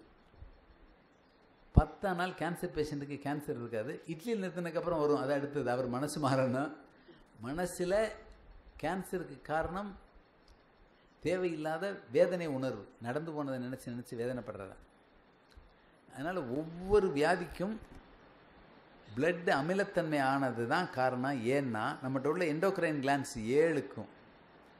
Pineal pituitary thyroid thymus pancreas gonad adrenal மூலாதாரம் சுவாதிஷ்டானம் மணிப்புரகம் அனாகதம் விசித்தி ஆக்னா சகசிரர் ஒன்று எண்டோக்ரைன் கிளான்ஸு அதோடைய ஹார்மோனை சுரந்துக்கிட்டே இருக்குது ஒன்று என்னத்தை சுரக்குதுன்னு நினைக்கிறிய? ஒன்று இன்சுலினை சுரக்குது. ஒன்று ஜிங்க் மெட்டலை சுரக்குது ஒன்று தங்கத்தை சுரக்குது ஒன்று வெள்ளி மெட்டலை சுரக்குது மினரல்னு பேர். இது அவ்வளோ இந்த அசிடிக் பிளட் நியூட்ரலைஸ் பண்ணி அனுப்பிச்சிடும் பிபி சுகர் மூட்டு வலி கால்சியம் பூரா டிப்ளீட் ஆயிரும். நம்மளுடைய கோவ எண்ணங்கள் நம்மளுடைய பொறாமை எண்ணங்கள் நம்மளுடைய வெறுப்பு எண்ணங்கள் அவ்வளவும் இந்த பிளட்டை அமிலத்தன்மை ஆக்கிரும். சாப்பிட்ற சாப்பாடு அஃப்கோர்ஸ் புளிச்ச சாப்பாடு மத்தியானத்துக்கு மேலே சாப்பிடாம இருக்கிறது நல்லது. ஆனால் அதனால் மாத்திரம் வரல இந்த புளிச்ச எண்ணங்கள் இருக்குல்ல பத்து வருஷத்துக்கு முன்னாடி நினச்சிக்கிட்டே இருக்கோம்ல. நன்றி மறப்பது நன்றன்று நன்றல்லது அன்றே மறப்பது நன்றுன்ட்டு. இந்த நல்லா இல்லாத ஒரு விஷயத்த பத்து வருஷமாக நினச்சிக்கிட்டு இருந்தால் பத்து வருஷத்துக்கு முன்னாடி ஒரு கிரேப்ஸ் வச்சுருந்தா இன்றைக்கி எப்படி புளிக்குமோ அப்படி பிளட்டு புளிப்பு ஏறிடும் இந்த புளிப்பான பிளட்டில் எல்லா மெட்டலும் கரைஞ்சி போயிடும் அமிலத்தன்மையான இதில் பொட்டாசியம் கம்மியாக இருந்தால் தான் BP potassium is a metal அது பேஸ் அதை இந்த ஆசிட் நியூட்ரலைஸ் பண்ணிடும் குரோமியம் பிளட்டில் இருந்தால் தான் குரோமியம் ஹண்ட்ரட் மில்லிகிராமுக்கு கீழே இருந்தாலே போதும். Less than hundred milligram trace மினரல்னு பேர். குரோமியம் பிளட்டில் இருந்தால் மாத்திரம்தான் சுகர் கிடையாது. குரோமியம் பீயிங் எ மெட்டல் இந்த பிளட் ஆசிடு நியூட்ரலைஸ் பண்ணிடும் சுகர் பேஷண்ட்டுக்கு அதுதான் காரணமே வழியே பேங்க்ரியாஸ் வேலை பார்க்கலைங்கிறது இல்லை. இந்த குரோமியம் பிளட்டில் இல்லை. குரோமியம் ஏன் இல்லை? சரி எனக்கு தினமாக நான் சேர்த்தா வச்சுருக்கேன் இல்லை. இன்றைக்கி சாப்பிட்ற முட்டைக்கோசுலையோ நாளைக்கு சாப்பிட்ற கேரட்லையோ நாளை கழித்து சாப்பிட்ற பூசணிக்காயிலையோ ஆப்பிள்லையோ இருக்குது அதை என் உடம்பு எடுத்துக்கிறது. பிளட் ஆசிடிக்காக இருந்தால் எடுத்தது பூரா காலி பண்ணிடுது. இதுதான் சுகர் குரோமியம் பிளட்டில் இல்லைன்னா மத்திரம்தான் சுகர் அதே மாதிரி ஜிங்க் மெ மெட்டல் பிளட்டில் இல்லைன்னா மத்திரம்தான் ஆஸ்துமா கால்சியம் பிளட்டில் இல்லைன்னா கால்சியம் ட்ரேஸ் மினரலில் வராது. ஹையர் குவான்டிட்டி வேணும். மோர் தேன் ஹண்ட்ரட் மில்லி அது இல்லைன்னா தான் மூட்டு வலி அது இல்லைன்னா தான் ஆஸ்ட்ரோபோரியாசிஸ் அயோடின் பிளட்டில் இல்லைன்னா தான் தைராய்டு இதெல்லாம் ஏன் இல்லைன்னா பிளட்டு நல்லா இல்லைன்னு அர்த்தம். ஒரே வரியில் சொல்லிட்டார் இல்லையா? எல்லா மீட்டிங்கிலும் ரத்தம் கெட்டு போனால். அது இப்படி தான் கெட்டு போகுது. இதுதான் pH control blood pH control is in our own mind முட்டைக்கோஸ் சாப்பிட்டாலும் குரோமியம் இருந்திருக்கும். கேரட்டு சாப்பிட்டாலும் இருந்திருக்கும். ஹண்ட்ரட் மில்லிகிராம் தான் வேணும். எதில் இருக்குன்னு நான் டெஸ்ட் பண்ணியே சாப்பிடல சுகர் இல்லாத சுகர் இல்லாதவன்லாம் தினம் தினம் குரோமியம் எடுத்துகிட்டு இருக்கான். எல்லாத்துலேயும் இருக்குது நானும் குரோமியம் சாப்பிட்றேன் என் தம்பியும் சாப்பிட்றேன் எங்கள் அம்மாவும் சாப்பிட்றாங்க. யாரோ ரெண்டு பேருக்கு ஏன் சுகர் இருக்குன்னா அவங்க பிளட்டு கெட்டு போய் கிடக்குன்னு அர்த்தம். ஒரே சாப்பாடு தான் சாப்பிட்ருக்கோம் இதை போய் தேடியே நீங்கள் பண்ண வேணாம். ஒரு வேளை ஒரு வேளை நீங்கள் சாப்பிட்ட சாப்பாடு எதுலேயும் இல்லைன்னா இறைவன் இந்த குறைய வைக்கிறதில்ல. உங்கள் மூச்சு காற்று வழியே அதை கொடுத்துருவார். எண்டோக்ரைன் கிளன் எல்லாம் நம்ம சாப்பிட்ற சாப்பாடில் சுரக்குதுன்னு நினச்சிக்கிட்டு இருக்கோம். இயற்கையில் எந்தெந்த கிரகம் நம்மளை பார்க்குதோ அதில் நடக்குது.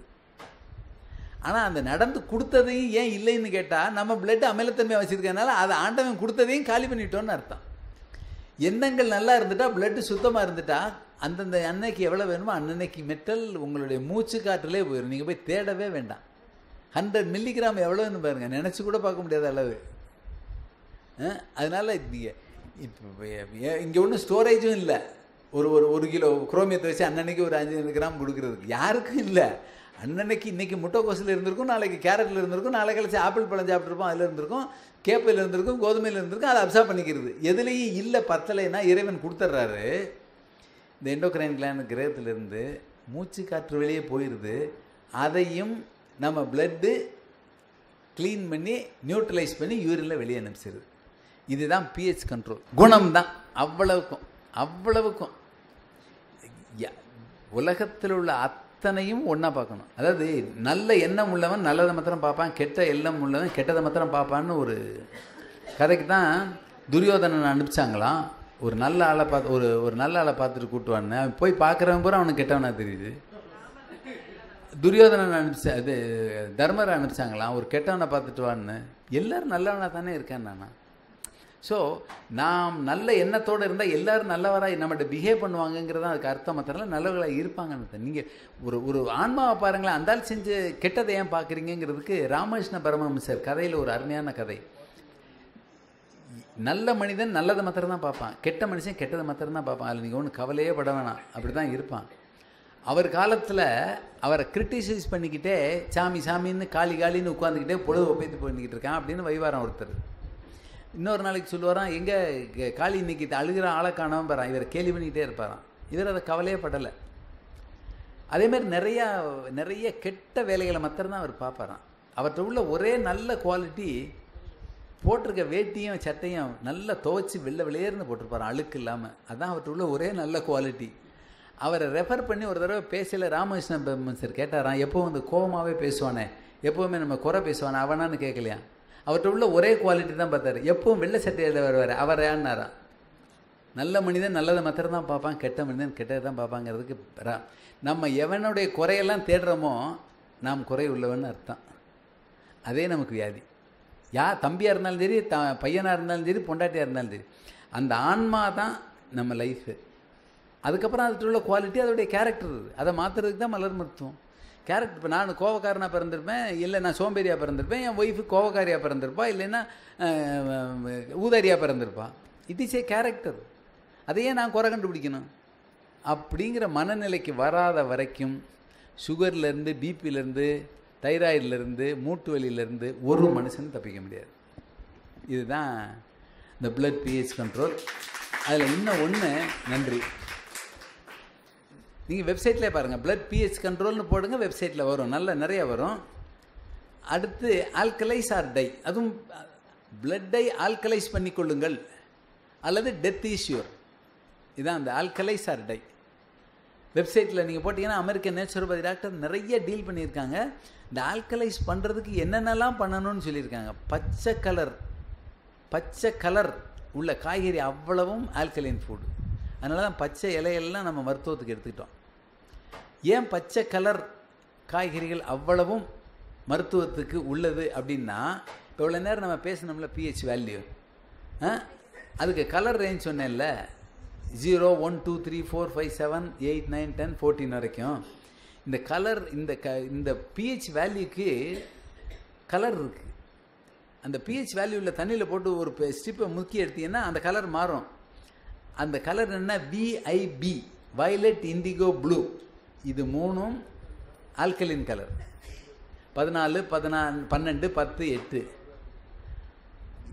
G green neutral colour YOR yellow orange red is acidic colour அதனால் இந்த நியூட்ரல் கலர் உள்ள பச்சை கலர் உள்ள காய்கறி எதை சேர்த்திங்கனாலும் பிளட்டை பியூரிஃபை பண்ணும். மொச்சக்காய் சீனியாவரக்காய் புரோக்கோலி அவரக்காய் வெண்டிக்காய் முட்டைக்கோசு அலுவேரா. இது அவ்வளவும் இந்த பச்சை கலரில் உள்ள அத்தனை காயும் கொதிக்க வச்சு அதிகமாக உப்பு போடாமல் சாப்பிட்டாலே கேன்சர் க்யூர் ஆகுது ஏன்னா you are neutralizing the blood from pH four to seven கம்ப்ளீட்டாக க்யூர் ஆயிரும் அல்லது இந்த அலுவேராவை தேனில் போட்டு கொடுத்தாலும் போதும். இன்னும் நிறைய மருந்து இருக்குன்னு காய்கறியை பச்சையாக சாப்பிட்றதுல எனக்கு ஒரு உடன்பாடு கிடையாது. ஏன்னு சொல்கிறேன்னு கேளுங்க. வள்ளுவரே சொல்லிட்டார் இனிய உளவாக அது குரல் கனி இருப்ப காய் கவர்ந்துட்டுன்னு கனி இருக்கையில் காயை போய் ஏன் சாப்பிட்றேன்னு கேட்டிருக்காரு. இந்த காயை பச்சையாக சாப்பிடக்கூடாதுங்கிறது தான் வாழையடி வாழையாக கொதிக்க வச்சு சாப்பிட்ருக்கோம். இன்றைக்கி கொதிக்க வைக்கிற ப்ராசஸ் தப்பாக போனதுனால அது உணவாக இல்லை. இந்த பச்சை பச்சை காய்கறியில் எல்லா சத்தும் சேர்ந்துரும் அக்னி மாத்திரம் சேராது. ஏன்னா பழுத்தா தானே அக்னி அது சேரலை. அது இல்லைங்கிறதுக்காக நம்ம சேர்த்துக்கிறது தான் அடுப்பில் காய வச்சு ஹீட் பண்ணுறது ஆச்சா இப்போ மூலிகை மருந்துன்னு நம்ம எடுக்கிறோம்ல இஞ்சி சாறு எடுக்கிறோம் புதினா சாறு எடுக்கிறோம் இதெல்லாம் பச்சை தானே? அதை யாரும் அடுப்பில் வச்சு காய வைக்கிறது இல்லைல்ல? அப்போ அதை குடிக்கலாமான்னா குடிக்கிறது இல்லை தெரியுமா? அதை முறிக்கிறதுன்னு ஒன்று வச்சுருக்கோம். யாராவது கேள்விப்பட்டிருக்கீங்களா? அதை முறிக்கிறது அதை விஷத்தை முறிக்கிறதுன்னு ஒரு இந்த இஞ்சி சாறை எடுத்துட்டு ஆலக்கரண்டியை அடுப்பில் காய வச்சு அதுக்குள்ளே உள்ளே விட்டு எடுப்பாங்க. அக்னியை சேர்த்துருவோம். அப்பன்னா தான் அது பாய்சன் இல்லாதது. இல்லை அப்படி தான் நான் பச்சை காய்கறி சாப்பிடுவேன்னா அந்த பச்சை காய்கறியில் சேராத அக்னி இருக்குல்ல தட் இஸ் ஆல்கலின் ஆல்கலின் அதில் இல்லை. அதை எப்படி சேர்க்கறது அப்படின்னு பார்த்தீங்கன்னா நார்த் இந்தியன் பூரா எலுமிச்சம்பழத்தை புழிஞ்சிடுறான்.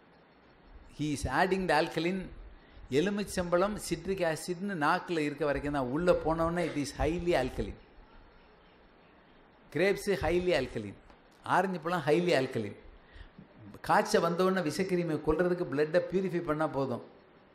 ஆரஞ்சு பழத்தை தான் கொடுத்தோம் ஐம்பது வருஷத்துக்கு முன்னாடி. இன்றைக்கி தான் ஆப்பிளை கொண்டு வரோம் ஹார்லிக்ஸை கொண்டு வரோம். ஆரஞ்சு பழத்தை ஏன் கொடுத்தோம்னா உள்ளே போன உடனே ஆரஞ்சு பழம் சிட்ரஸ் ஃப்ரூட்டாக இருந்தாலும் உள்ளே போன அது ஆல்கலினாக மாறிடும். அதுக்கு உங்களுக்கு புரிகிறதுக்காக சொல்கிறேன் லைம் ஜூஸ் தானே சொல்கிறோம் லைம்னா சுண்ணாம்புன்னு தானே அர்த்தம். எங்கேயாவது கடையில் போய் லைம் ஜூஸ்ன்னு தானே கேட்குறேன் எலுமிச்சம்பழத்தை இது பல காலங்காலமாக அதை சொல்லியே இருந்திருக்கோம் நம்மளே. அது உள்ளே போனோடனே கால்சியமாக மாறிடும். கிரேப்ஸு இந்த உ- புளிப்பை தவிர புளியை தவிர மித்த எல்லா புளிப்பு சுவை உள்ளதும் உள்ளே போய் நமக்கு ஆரோக்கியமான பானமாக மாறிடும். இந்த பிளட் அசிடிக்கு நான் மாற்றவொன்னே எல்லா கிருமியும் செத்து போயிடும். அதுக்கு தான் ஆரஞ்சு பழத்தை சாப்பிட்டோம் நம்ம. அதனால் இந்த பச்சை காய்கறிகளை சாப்பிடணும்னு ஆசை இருந்தால் அதில் லேசாக எலுமிச்சம்பழத்தை புழிஞ்சுக்கங்க ஆல்கலைஸ் பண்ணிடுது இல்லைன்னா மிளகு தூளை தூவிக்கங்க அதையும் செஞ்சுருக்கோம் நம்ம. மிளகு தூளை தூவி தான் வெள்ளரி பிஞ்சு முத கொண்டு சாப்பிட்ருக்கோம் ஆனால் இன்றைக்கி என்னமோ அவசரத்தில் ரோட்டை வாங்கி கடிச்சிட்டு போகிறோம் வெள்ளரி பிஞ்சு பச்சையாக இருக்கிறத பச்சை காய்கறி சேர்க்கக்கூடாது. ஆனால் அதை போய் வெள்ளரி பிஞ்சு என்ன நம்ம என்ன கொ- கொதிக்க வச்சா சாப்பிட போகிறோம் ருசிக்காக அதை we are adding pepper pepper is highly alkaline இந்த கேன்சர் பேஷண்ட்டை நல்லெண்ணெய் ஊற்றி கொப்பளிக்கேன்னு சொன்னோம்ல எல்லா எண்ணெயும் ஆல்கலின் அதனால் அதை ஊற்றி கொப்பளி கொப்பளி அந்த அசிடிக் பிளட்டை பூரா அதை ஆல்கலைஸ் பண்ணிக்கிட்டே இருக்குது நியூட்ரலைஸ் பண்ணிக்கிட்டே இருக்குது துப்பிக்கிட்டே இருங்க. இதே பிளட் அசிடிக் ஆனதுக்கு நான் எதுக்கு இந்த எண்ணெயை சொன்னேன்னா இப்போ வரேன். ஒரு காலத்தில் பாம்பரனையோ தேலோ கட்டிட்டா பாட்டி வைத்தியம் என்ன பண்ணால் தெரியுமா? ரெண்டு மிளகையும் வெத்தலையும் வாயில் வச்சு கடிக்க சொன்னான் மிளகு சால்கலின் வெத்தலை சால்கலின் இது ரெண்டும் வாயில் போட்டு மெல்லையில் இந்த விஷம் பிளட்டில் சேர்ந்து வாய்க்கும் வந்திருந்தா இந்த வாயில் உள்ள சலைவா வில் பி அசிடிக்கு இந்த அசிடிட்டியும் அந்த ஆல்கலினையும் சேர்ந்து நியூட்ரலைஸ் ஆனோன்னு உரைக்காது. அப்போ இன்னும் விஷம் இருக்குது உரைக்குதான்னு கேட்பா நீங்கள் மிளகை வச்சு கடிச்ச உடனே. உரைக்கலைன்னு சொன்னால் மென்று துப்பிட்டு அடுத்த ரெண்டு மிளகு கொடுப்பா. மென்று உரைக்குதான்னு கேட்பா உரைக்கலைன்னா மறுபடியும் இன்னும் விஷம் இருக்குன்னு அர்த்தம். அதை துப்பிட்டு மறுபடியும் பண்ண சொல்லுவாள் பத்தாவது தடவை இவன் உரைக்குதுன்னு சொன்னான்னா இவன் உடம்புல விஷம் இல்லைன்னு கண்டுபிடிச்சிட்டா. பாட்டி அந்த நேச்சர் மிளகுக்கு இருக்குது அதனால் அதை ஆல்கலின்னு சேர்த்துக்கலாம். நம்ம கேள்விப்பட்டிருக்கல நீங்கள் பாம்பு கீம்பு கடிச்சிட்டா இது மிளகை போட்டு மெல்ல சொன்னதை கேட்டிருக்க மாட்டிக்க போல. நான் ஆ? கிராமத்து சைடில் இருக்குது டவுன் சைடில் அறுபது வயசு பாட்டிக்கே எனக்கு தெரியல. எழுபது வயசு பாட்டிக்கே தெரியல. எல்லாம் அந்த கான்செப்ட் கெட்டு போச்சு. வேலைக்கு போய் பரம்பரை வந்த பாட்டி வைத்தியம் இன்னைக்கு எந்த பாட்டிக்குமே தெரியல. அதுக்கப்புறம்ல சின்ன ஆளுகளுக்கு தெரிய? நீங்கள் கசப்புக்கு அதுவுமே ஆல்கலின் அதனால தான் நீங்கள் பிளட் அசிரிக்க நீங்கள் ஒரு சாமியார் எனக்கு ஃபாலோகர்னு சொன்னேன் இல்லையா? பூஞ்சை புளியம்பட்டின்னு திருப்பூர் பக்கத்தில் வேணுகோபால் சாமிகள்னு வச்சுருந்தார். இப்போ இல்லை ரெண்டாயிரத்தி எட்டில் அவர் ஒளிநிலை அடைஞ்சிட்டார் அவர் செஞ்சு காமிச்ச ஒரு உண்மையை சொல்கிறேன் நாம் சுத்தமான மனநிலையோடு இருந்தால் பாம்பு கடிச்சா நமக்கு விஷம் ஏறாதுங்கிறத நல்ல பாம்பை கொண்டு வந்து கொட்ட விட்டார். அவர் பிளட் ஆல்கலின் இருந்ததுனால இந்த அசிடிக் பிளட்ஸ் நியூட்ரலைஸ் ஆகி நியூட்ரலைஸ் ஆகி யூரின் தான் போய் நல்லா ஆகிட்டார் வெளியே மூணு நாள் கழித்து ஒன்றுமே ஆகலை.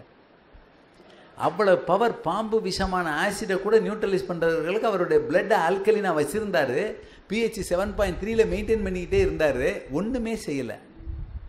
அதனால தான் ஜீசஸோட ரத்த ஆல்கலின்ங்கிறதுனால தான் இயேசுவின் ரத்தம் சகல பாவத்தையும் போக்கும்னு நம்ம சொல்கிறோம் புரியுதா? நம்ம ரத்த சகல பாவத்தையும் கொண்டு வரும். ஆசிடாக வச்சிருக்க வரைக்கும். புளி மத்திரம் ஆசிட். புசி புளி மத்திரம். புளியை தவிர மித்த எல்லா புளிப்பும் அன்னாசி பழத்துலேருந்து உள்ளே போனால் ஆல்கலினாக மாறிடும். பிளட்டை பியூரிஃபை பண்ணும். சமையலுக்கு சேர்த்தாகணுங்கிறக்காக சேர்க்குறோம். கோடம்புளின்னு ஒரு புளி இருக்குது கேரளாவிலேருந்து வரும். அது ஆல்கலின். அரைக்கவே முடியலையா? அரைக்க அரைக்க முடியலைங்கிறதுக்காக விஷத்தை சாப்பிட்டுக்கிறேன்னு நம்ம என்ன பண்ணுறது அரைக்க முடியலைங்கிறதுக்காக புளியை சேர்த்துக்கிட்டா பாதி மூட்டு பாதி பிளட்டு அசிடிக்காக இருக்குது இன்னும் கொஞ்சம் அசிடிக்காக அந்த புளியை போட்டு சேர்த்தா இன்னும் கொஞ்சம் அதிகமாக தான் செய்யும். அசிடிக் எலுமிச்சம்பளத்தை புரிஞ்சுக்கலாம் எலுமிச்சம்பளம் உண்மையாகவே பிரமாதமான ஆல்கலின் இந்த பிளட்டை பூரா அசிடிக் ஆக்கிறது லிவர்லேருந்து சுரக்கக்கூடிய விஷ நீர் தான் கோபத்தில்.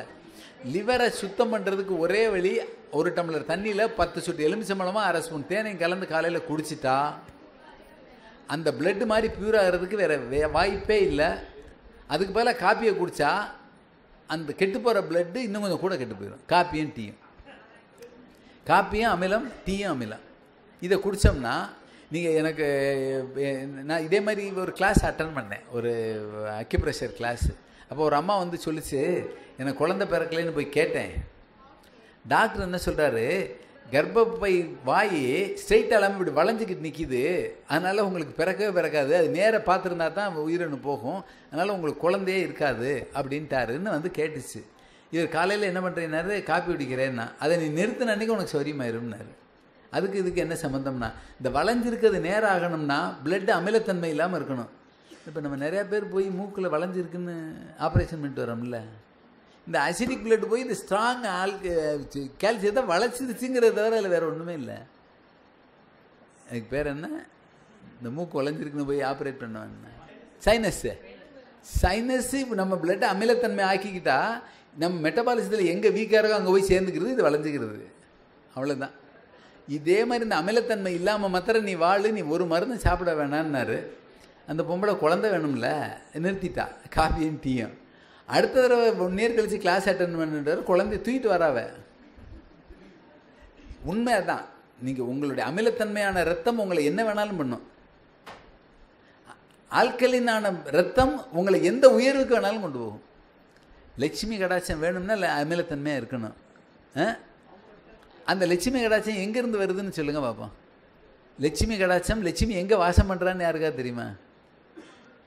மாட்டோட சாணத்துலேங்கிறான். ஹைலி ஆல்கலின் அன்றைக்கி போய் நம்ம பல்லு விளக்குனது அதனால தான் ஹைலி ஆல்கலின் நம்ம நம்மளோட வேஸ்ட்லாம் ஹைலி அசிடிக்கு அது ஆல்கலின் அதனால் லட்சுமி எங்கே வாசம் பண்ணுறான்னு சொன்னால் பார்த்தீங்களா அந்த மாதிரி நீங்கள் அந்த சாணத்துக்கு போவேன்னா உங்கள் பிளட்டை பூரா ஆல்கலின் ஆக்குங்க. லட்சுமி உங்கள் உடம்புல உட்காந்துருப்பா நீங்கள் கோடீஸ்வரனா பிர்லாவா உங்கள் கையில் இருக்குது அவ்வளோதான் இதுக்கு காசுக்கோ பணத்துக்கோ இதுக்கோ புகழுக்கோ இந்த நாலெட்ஜுக்கோ ஆரோக்கியமான வாழ்க்கைக்கோ உங்கள் பிளட்டை மத்திரம் சுத்தப்படுத்திட்டீங்கன்னா போதும்.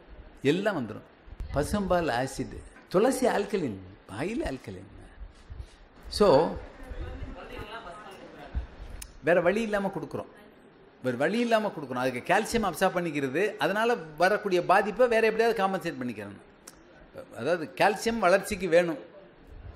அதை கொடுக்குறோம். அதில் இன்றைக்கி உள்ள குழந்தைகளுக்கெல்லாம் நீங்கள் இந்த மருத்துவத்தில் ஒரு முக்கியமான விஷயம் சொல்கிறேன் பிறந்த அன்னைக்கு குழந்தை தாய் செஞ்ச பாவம் புண்ணியங்களையும் அப்பா செஞ்ச பாவம் புண்ணியங்களையும் பாதி ஷேர் பண்ணிக்கிறதுக்கு தான் பிறக்குது. ரெண்டு கர்மாவையும் சேர்த்துக்கிட்டு தான் பிறக்குது. அந்த கர்மாவை அப்பா அம்மாவுடைய பாவத்தை அன்னைக்கே எடுத்து அந்த ஆசிடை நியூட்ரலைஸ் பண்ணுறதுக்காக நம்ம கிராமத்தில் ஒரு ஸ்பூன் கழுதப்பாலை கொடுத்தாங்க. ஹைலி ஆல்கலின் கழுதப்பால் கேள்விப்பட்டிருக்கீங்களா? அன்னைக்கே அந்த ப பரம்பரை கர்மா வியாதியை பூரா அதை எடுத்துரும். அன்னைக்கே சிங்கிள் டோஸ் ஆஃப் கழுதப்பால். இன்றைக்கி நம்ம கொடுக்கறது இல்லை இந்த இந்த பாலை தான் கொடுக்கணும்னா நீங்கள் க பனங்கற்கண்டையோ மிளகையோ மஞ்சத்தூளையோ போட்டுட்டா இட் இஸ் நியூட்ரலைசிங் ஆசிட் அவ்வளோதான் வேற ஒன்றும் பெரிய சயின்ஸே இல்லை பரிய கிராஜுவேட்டு ஆச்சா அடுத்து மாட்டு மாட்டுப்பாலில் தான். எலுமிச்சம்பழத்தை போட்டுக்க சாரி மஞ்சளை போட்டுக்கோங்க தூளை போட்டுக்கோங்க.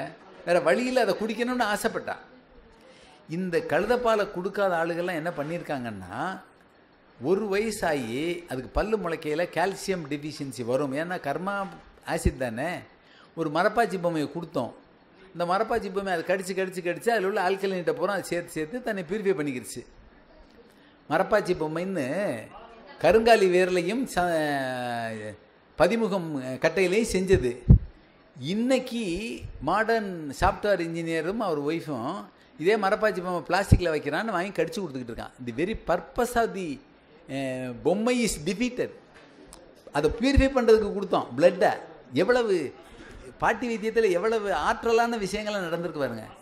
அது பல்லு முளைக்க ஆரம்பிக்கல அதுக்கு கால்சியம் வேணும். அம்மா அப்பா கரமா உட்காந்துருக்க வரைக்கும் கால்சியம் பத்தாது. இன்றைக்கி உள்ள எல்லா பிள்ளைக்கும் கால்சியம் இல்லை. அம்மா அப்பாவுடைய குணாதிசயம் இனி அடுத்த ஜென்ரேஷன்லாம் யாரும் தப்பாக நினச்சிக்கிறவனா கலியுகம் ரொம்ப சீக்கிரத்தில் தான் இருக்குது வீட்டில் பிறக்கையில் ஆஸ்துமாவோடையும் பிறக்கையில் கால் வளைஞ்சிக்கிட்டு தான் பிறக்குது. அது அந்த குழந்தையோட குற்றமே இல்லை. தாயும் தகப்பனும் ஒழுக்கமான எண்ணங்களோட ஒழுக்கமான வாழ்க்கையை வாழணும் நினைக்காததை தவிர வேறு காரணமே கிடையாது. தே ஆர் தி கிரியேட்டர் கடவுள் அந்த கடவுள் நல்லா இல்லைன்னா அது எப்படி உற்பத்தி வரும்? அப்படி தான் இருக்கும். ஸோ ஆஸ்துமான்னு தூக்கி தூக்கிட்டு ஒவ்வொரு வீடாக அலைய வேண்டியதான் ஒவ்வொரு ஆஸ்பத்திரி அலைய வேண்டியதானே ஒழிய அதுக்கு ஆஸ்துமாவுக்கு நான் தான் காரணங்கிற பொறுப்பு ஏற்று அதை கரெக்ட் பண்ண தெரியாத வரைக்கும் அதை உணர தெரியாத வரைக்கும் இந்த பிள்ளைக்கு நீங்கள் எத்தனை லட்சம் செலவழித்தாலும் அது ஆரோக்கியமான மனநிலை ஆரோக்கியமான உடல்நிலை ஆரோக்கியமான அறிவோடு அது படிக்க போகிறதில்ல வியாதியோடு வாழப்போகுது இதுக்கு காரணம் பெற்ற தாயும் தகப்பனையும் தவிர வேறு யாரும் இல்லை. இன்றைக்கி சமுதாயம் போய்கிட்டு இருக்கு. நீங்கள் பாருங்கள் ஊரில் எல்லா ஊர்லேயும் பாருங்கள் இப்போ சளி தாங்க மாட்டேங்குது ஆஸ்துமா வந்துக்கிட்டு இருக்கு வீசிங்க வந்துருச்சு சாக்லேட் திங்கிறதைங்கிறா. இவ என்னைக்காவது தன்னை மாற்றிட்டானா உடனே அந்த குழந்தை மாறிடும். இவளோ அவன் அப்பாவுமே. இவங்களுடைய மனநிலையில் அந்த சீற்றம் இருக்கிற வரைக்கும் இவங்க தன்னுடைய அசிடிக் பிளட்லேருந்து தேவையில் ரேடியேட் ஒன்லி ஆசிட் ரேஸ் அதைத்தான் அந்த குழந்தை வாங்கி வாங்கி வாங்கி வியாதியோடையே தான் வாழும் இதிலிருந்து விடுபடுறது எப்படி? அவங்க தான் விடுபட்டுக்கிறீங்க யாராலையும் திருத்த முடியாது. என்கிட்ட மருந்து வர்ற எல்லாத்தையுமே நான் சொல்லிடுவேன் அக்யூப்ரெஷரில் ஒரு தியரி இருக்குது மதர் சன்லான்னு சன் வீக்காக இருந்தால் மதரை ட்ரீட் பண்ணுன்னு இருக்கு. அந்தபடி குழந்தை வியாதிக்கு முழுவதும் அம்மாவுக்கு மருந்து கொடுக்கணும். ஹோமியோவில் ஒரு மருந்து இருக்குது எல்லோரும் நோட் பண்ணி வச்சுக்கோங்க. ரொம்ப அருமையான மருந்து. அந்த மருந்தை நான் நிறையா யூஸ் பண்ணுவேன். வியாதின்னு வந்தோடனே அந்த அம்மாவுக்கு நாலு பில்ஸை போட்டு கையில் கொடுத்துருவேன் அப்பாவுக்கு நாலு பில்ஸை போட்டு கொடுத்துருவேன். அந்த மருந்து பேர் கிராட்டியோலான்னு பேர். GRA TIOLA great Gratiola. அந்த மருந்து கேரக்டரை மாத்திரம் அதில் என்ன எழுதியிருக்காருன்னு சொல்கிறேன் ஓவர் வீனிங் ப்ரைடு அளவுக்கு அதிகமான தற்பெருமை உள்ள குடும்பம் அப்படின்னு. Overweening pride is the character that father that mother will give a sick baby only Gratiola is a medicine நிறையா மெடிசின் இருக்குது இதுக்காக சொல்கிறேன் இது வரைக்கும் எல்லோரும் கேட்டுக்கிட்டு இருந்ததுக்கு ஏதாவது டவுட் இருந்தால் தனியாக கேளுங்க. ஃபோனில் கூட கேளுங்க என் நம்பரில் இந்த மாதிரி ஒரு வாய்ப்பு கிடைச்சதுக்கு நான் சொல்லிடுறேன். இந்த மாதிரி வாய்ப்பு கொடுத்ததுக்கு திரு ஹீலர் பாஸ்கர் அவர்களுக்கு என்னுடைய மனமார்ந்த நன்றியை தெரிவித்துக் கொள்கிறேன். அவர் இதுவரை பல இது நடத்தி சமுதாயத்தை திருந்த நாள் ஒழிய சமுதாயத்தின் ஒரு அங்கம் நான். சமுதாயம் நல்லா ஆகாத வரைக்கும் நான் ஆக முடியாது. என்ன இயற்கை உணவு சாப்பிட்டாலும் என்ன முந்திரி பருப்பு சாப்பிட்டாலும் என்ன பழங்களாக சாப்பிட்டாலும் அந்த எனர்ஜியை பூரா டிப்ளீட் பண்ண சமுதாயம் ரெடியாக இருக்குது அதனால் சமுதாயத்தை நல்ல சமுதாயத்தை உருவாக்க வேணுங்கிற மனநிலையோடு அவர் எடுத்துக்கிட்ட முயற்சி மேல் மேலும் வளர எல்லாம் வல்ல இறைவனை பிரார்த்தித்து உங்களுக்கு நன்றி கூறி விடைபெறுகிறேன். கிரி ஐயா publications. People can purchase Healer Bhaskar's DVDs, books, and other authors' DVDs, books from Giriaiya Publications. The public can get benefit of utilizing them. For contact, phone number plus 91 96 29 03 2767. Email giriaya publications at gmail.com. Website www.giriayapublications.com. GiriayaPublications.com, and people can use this website for online purchase.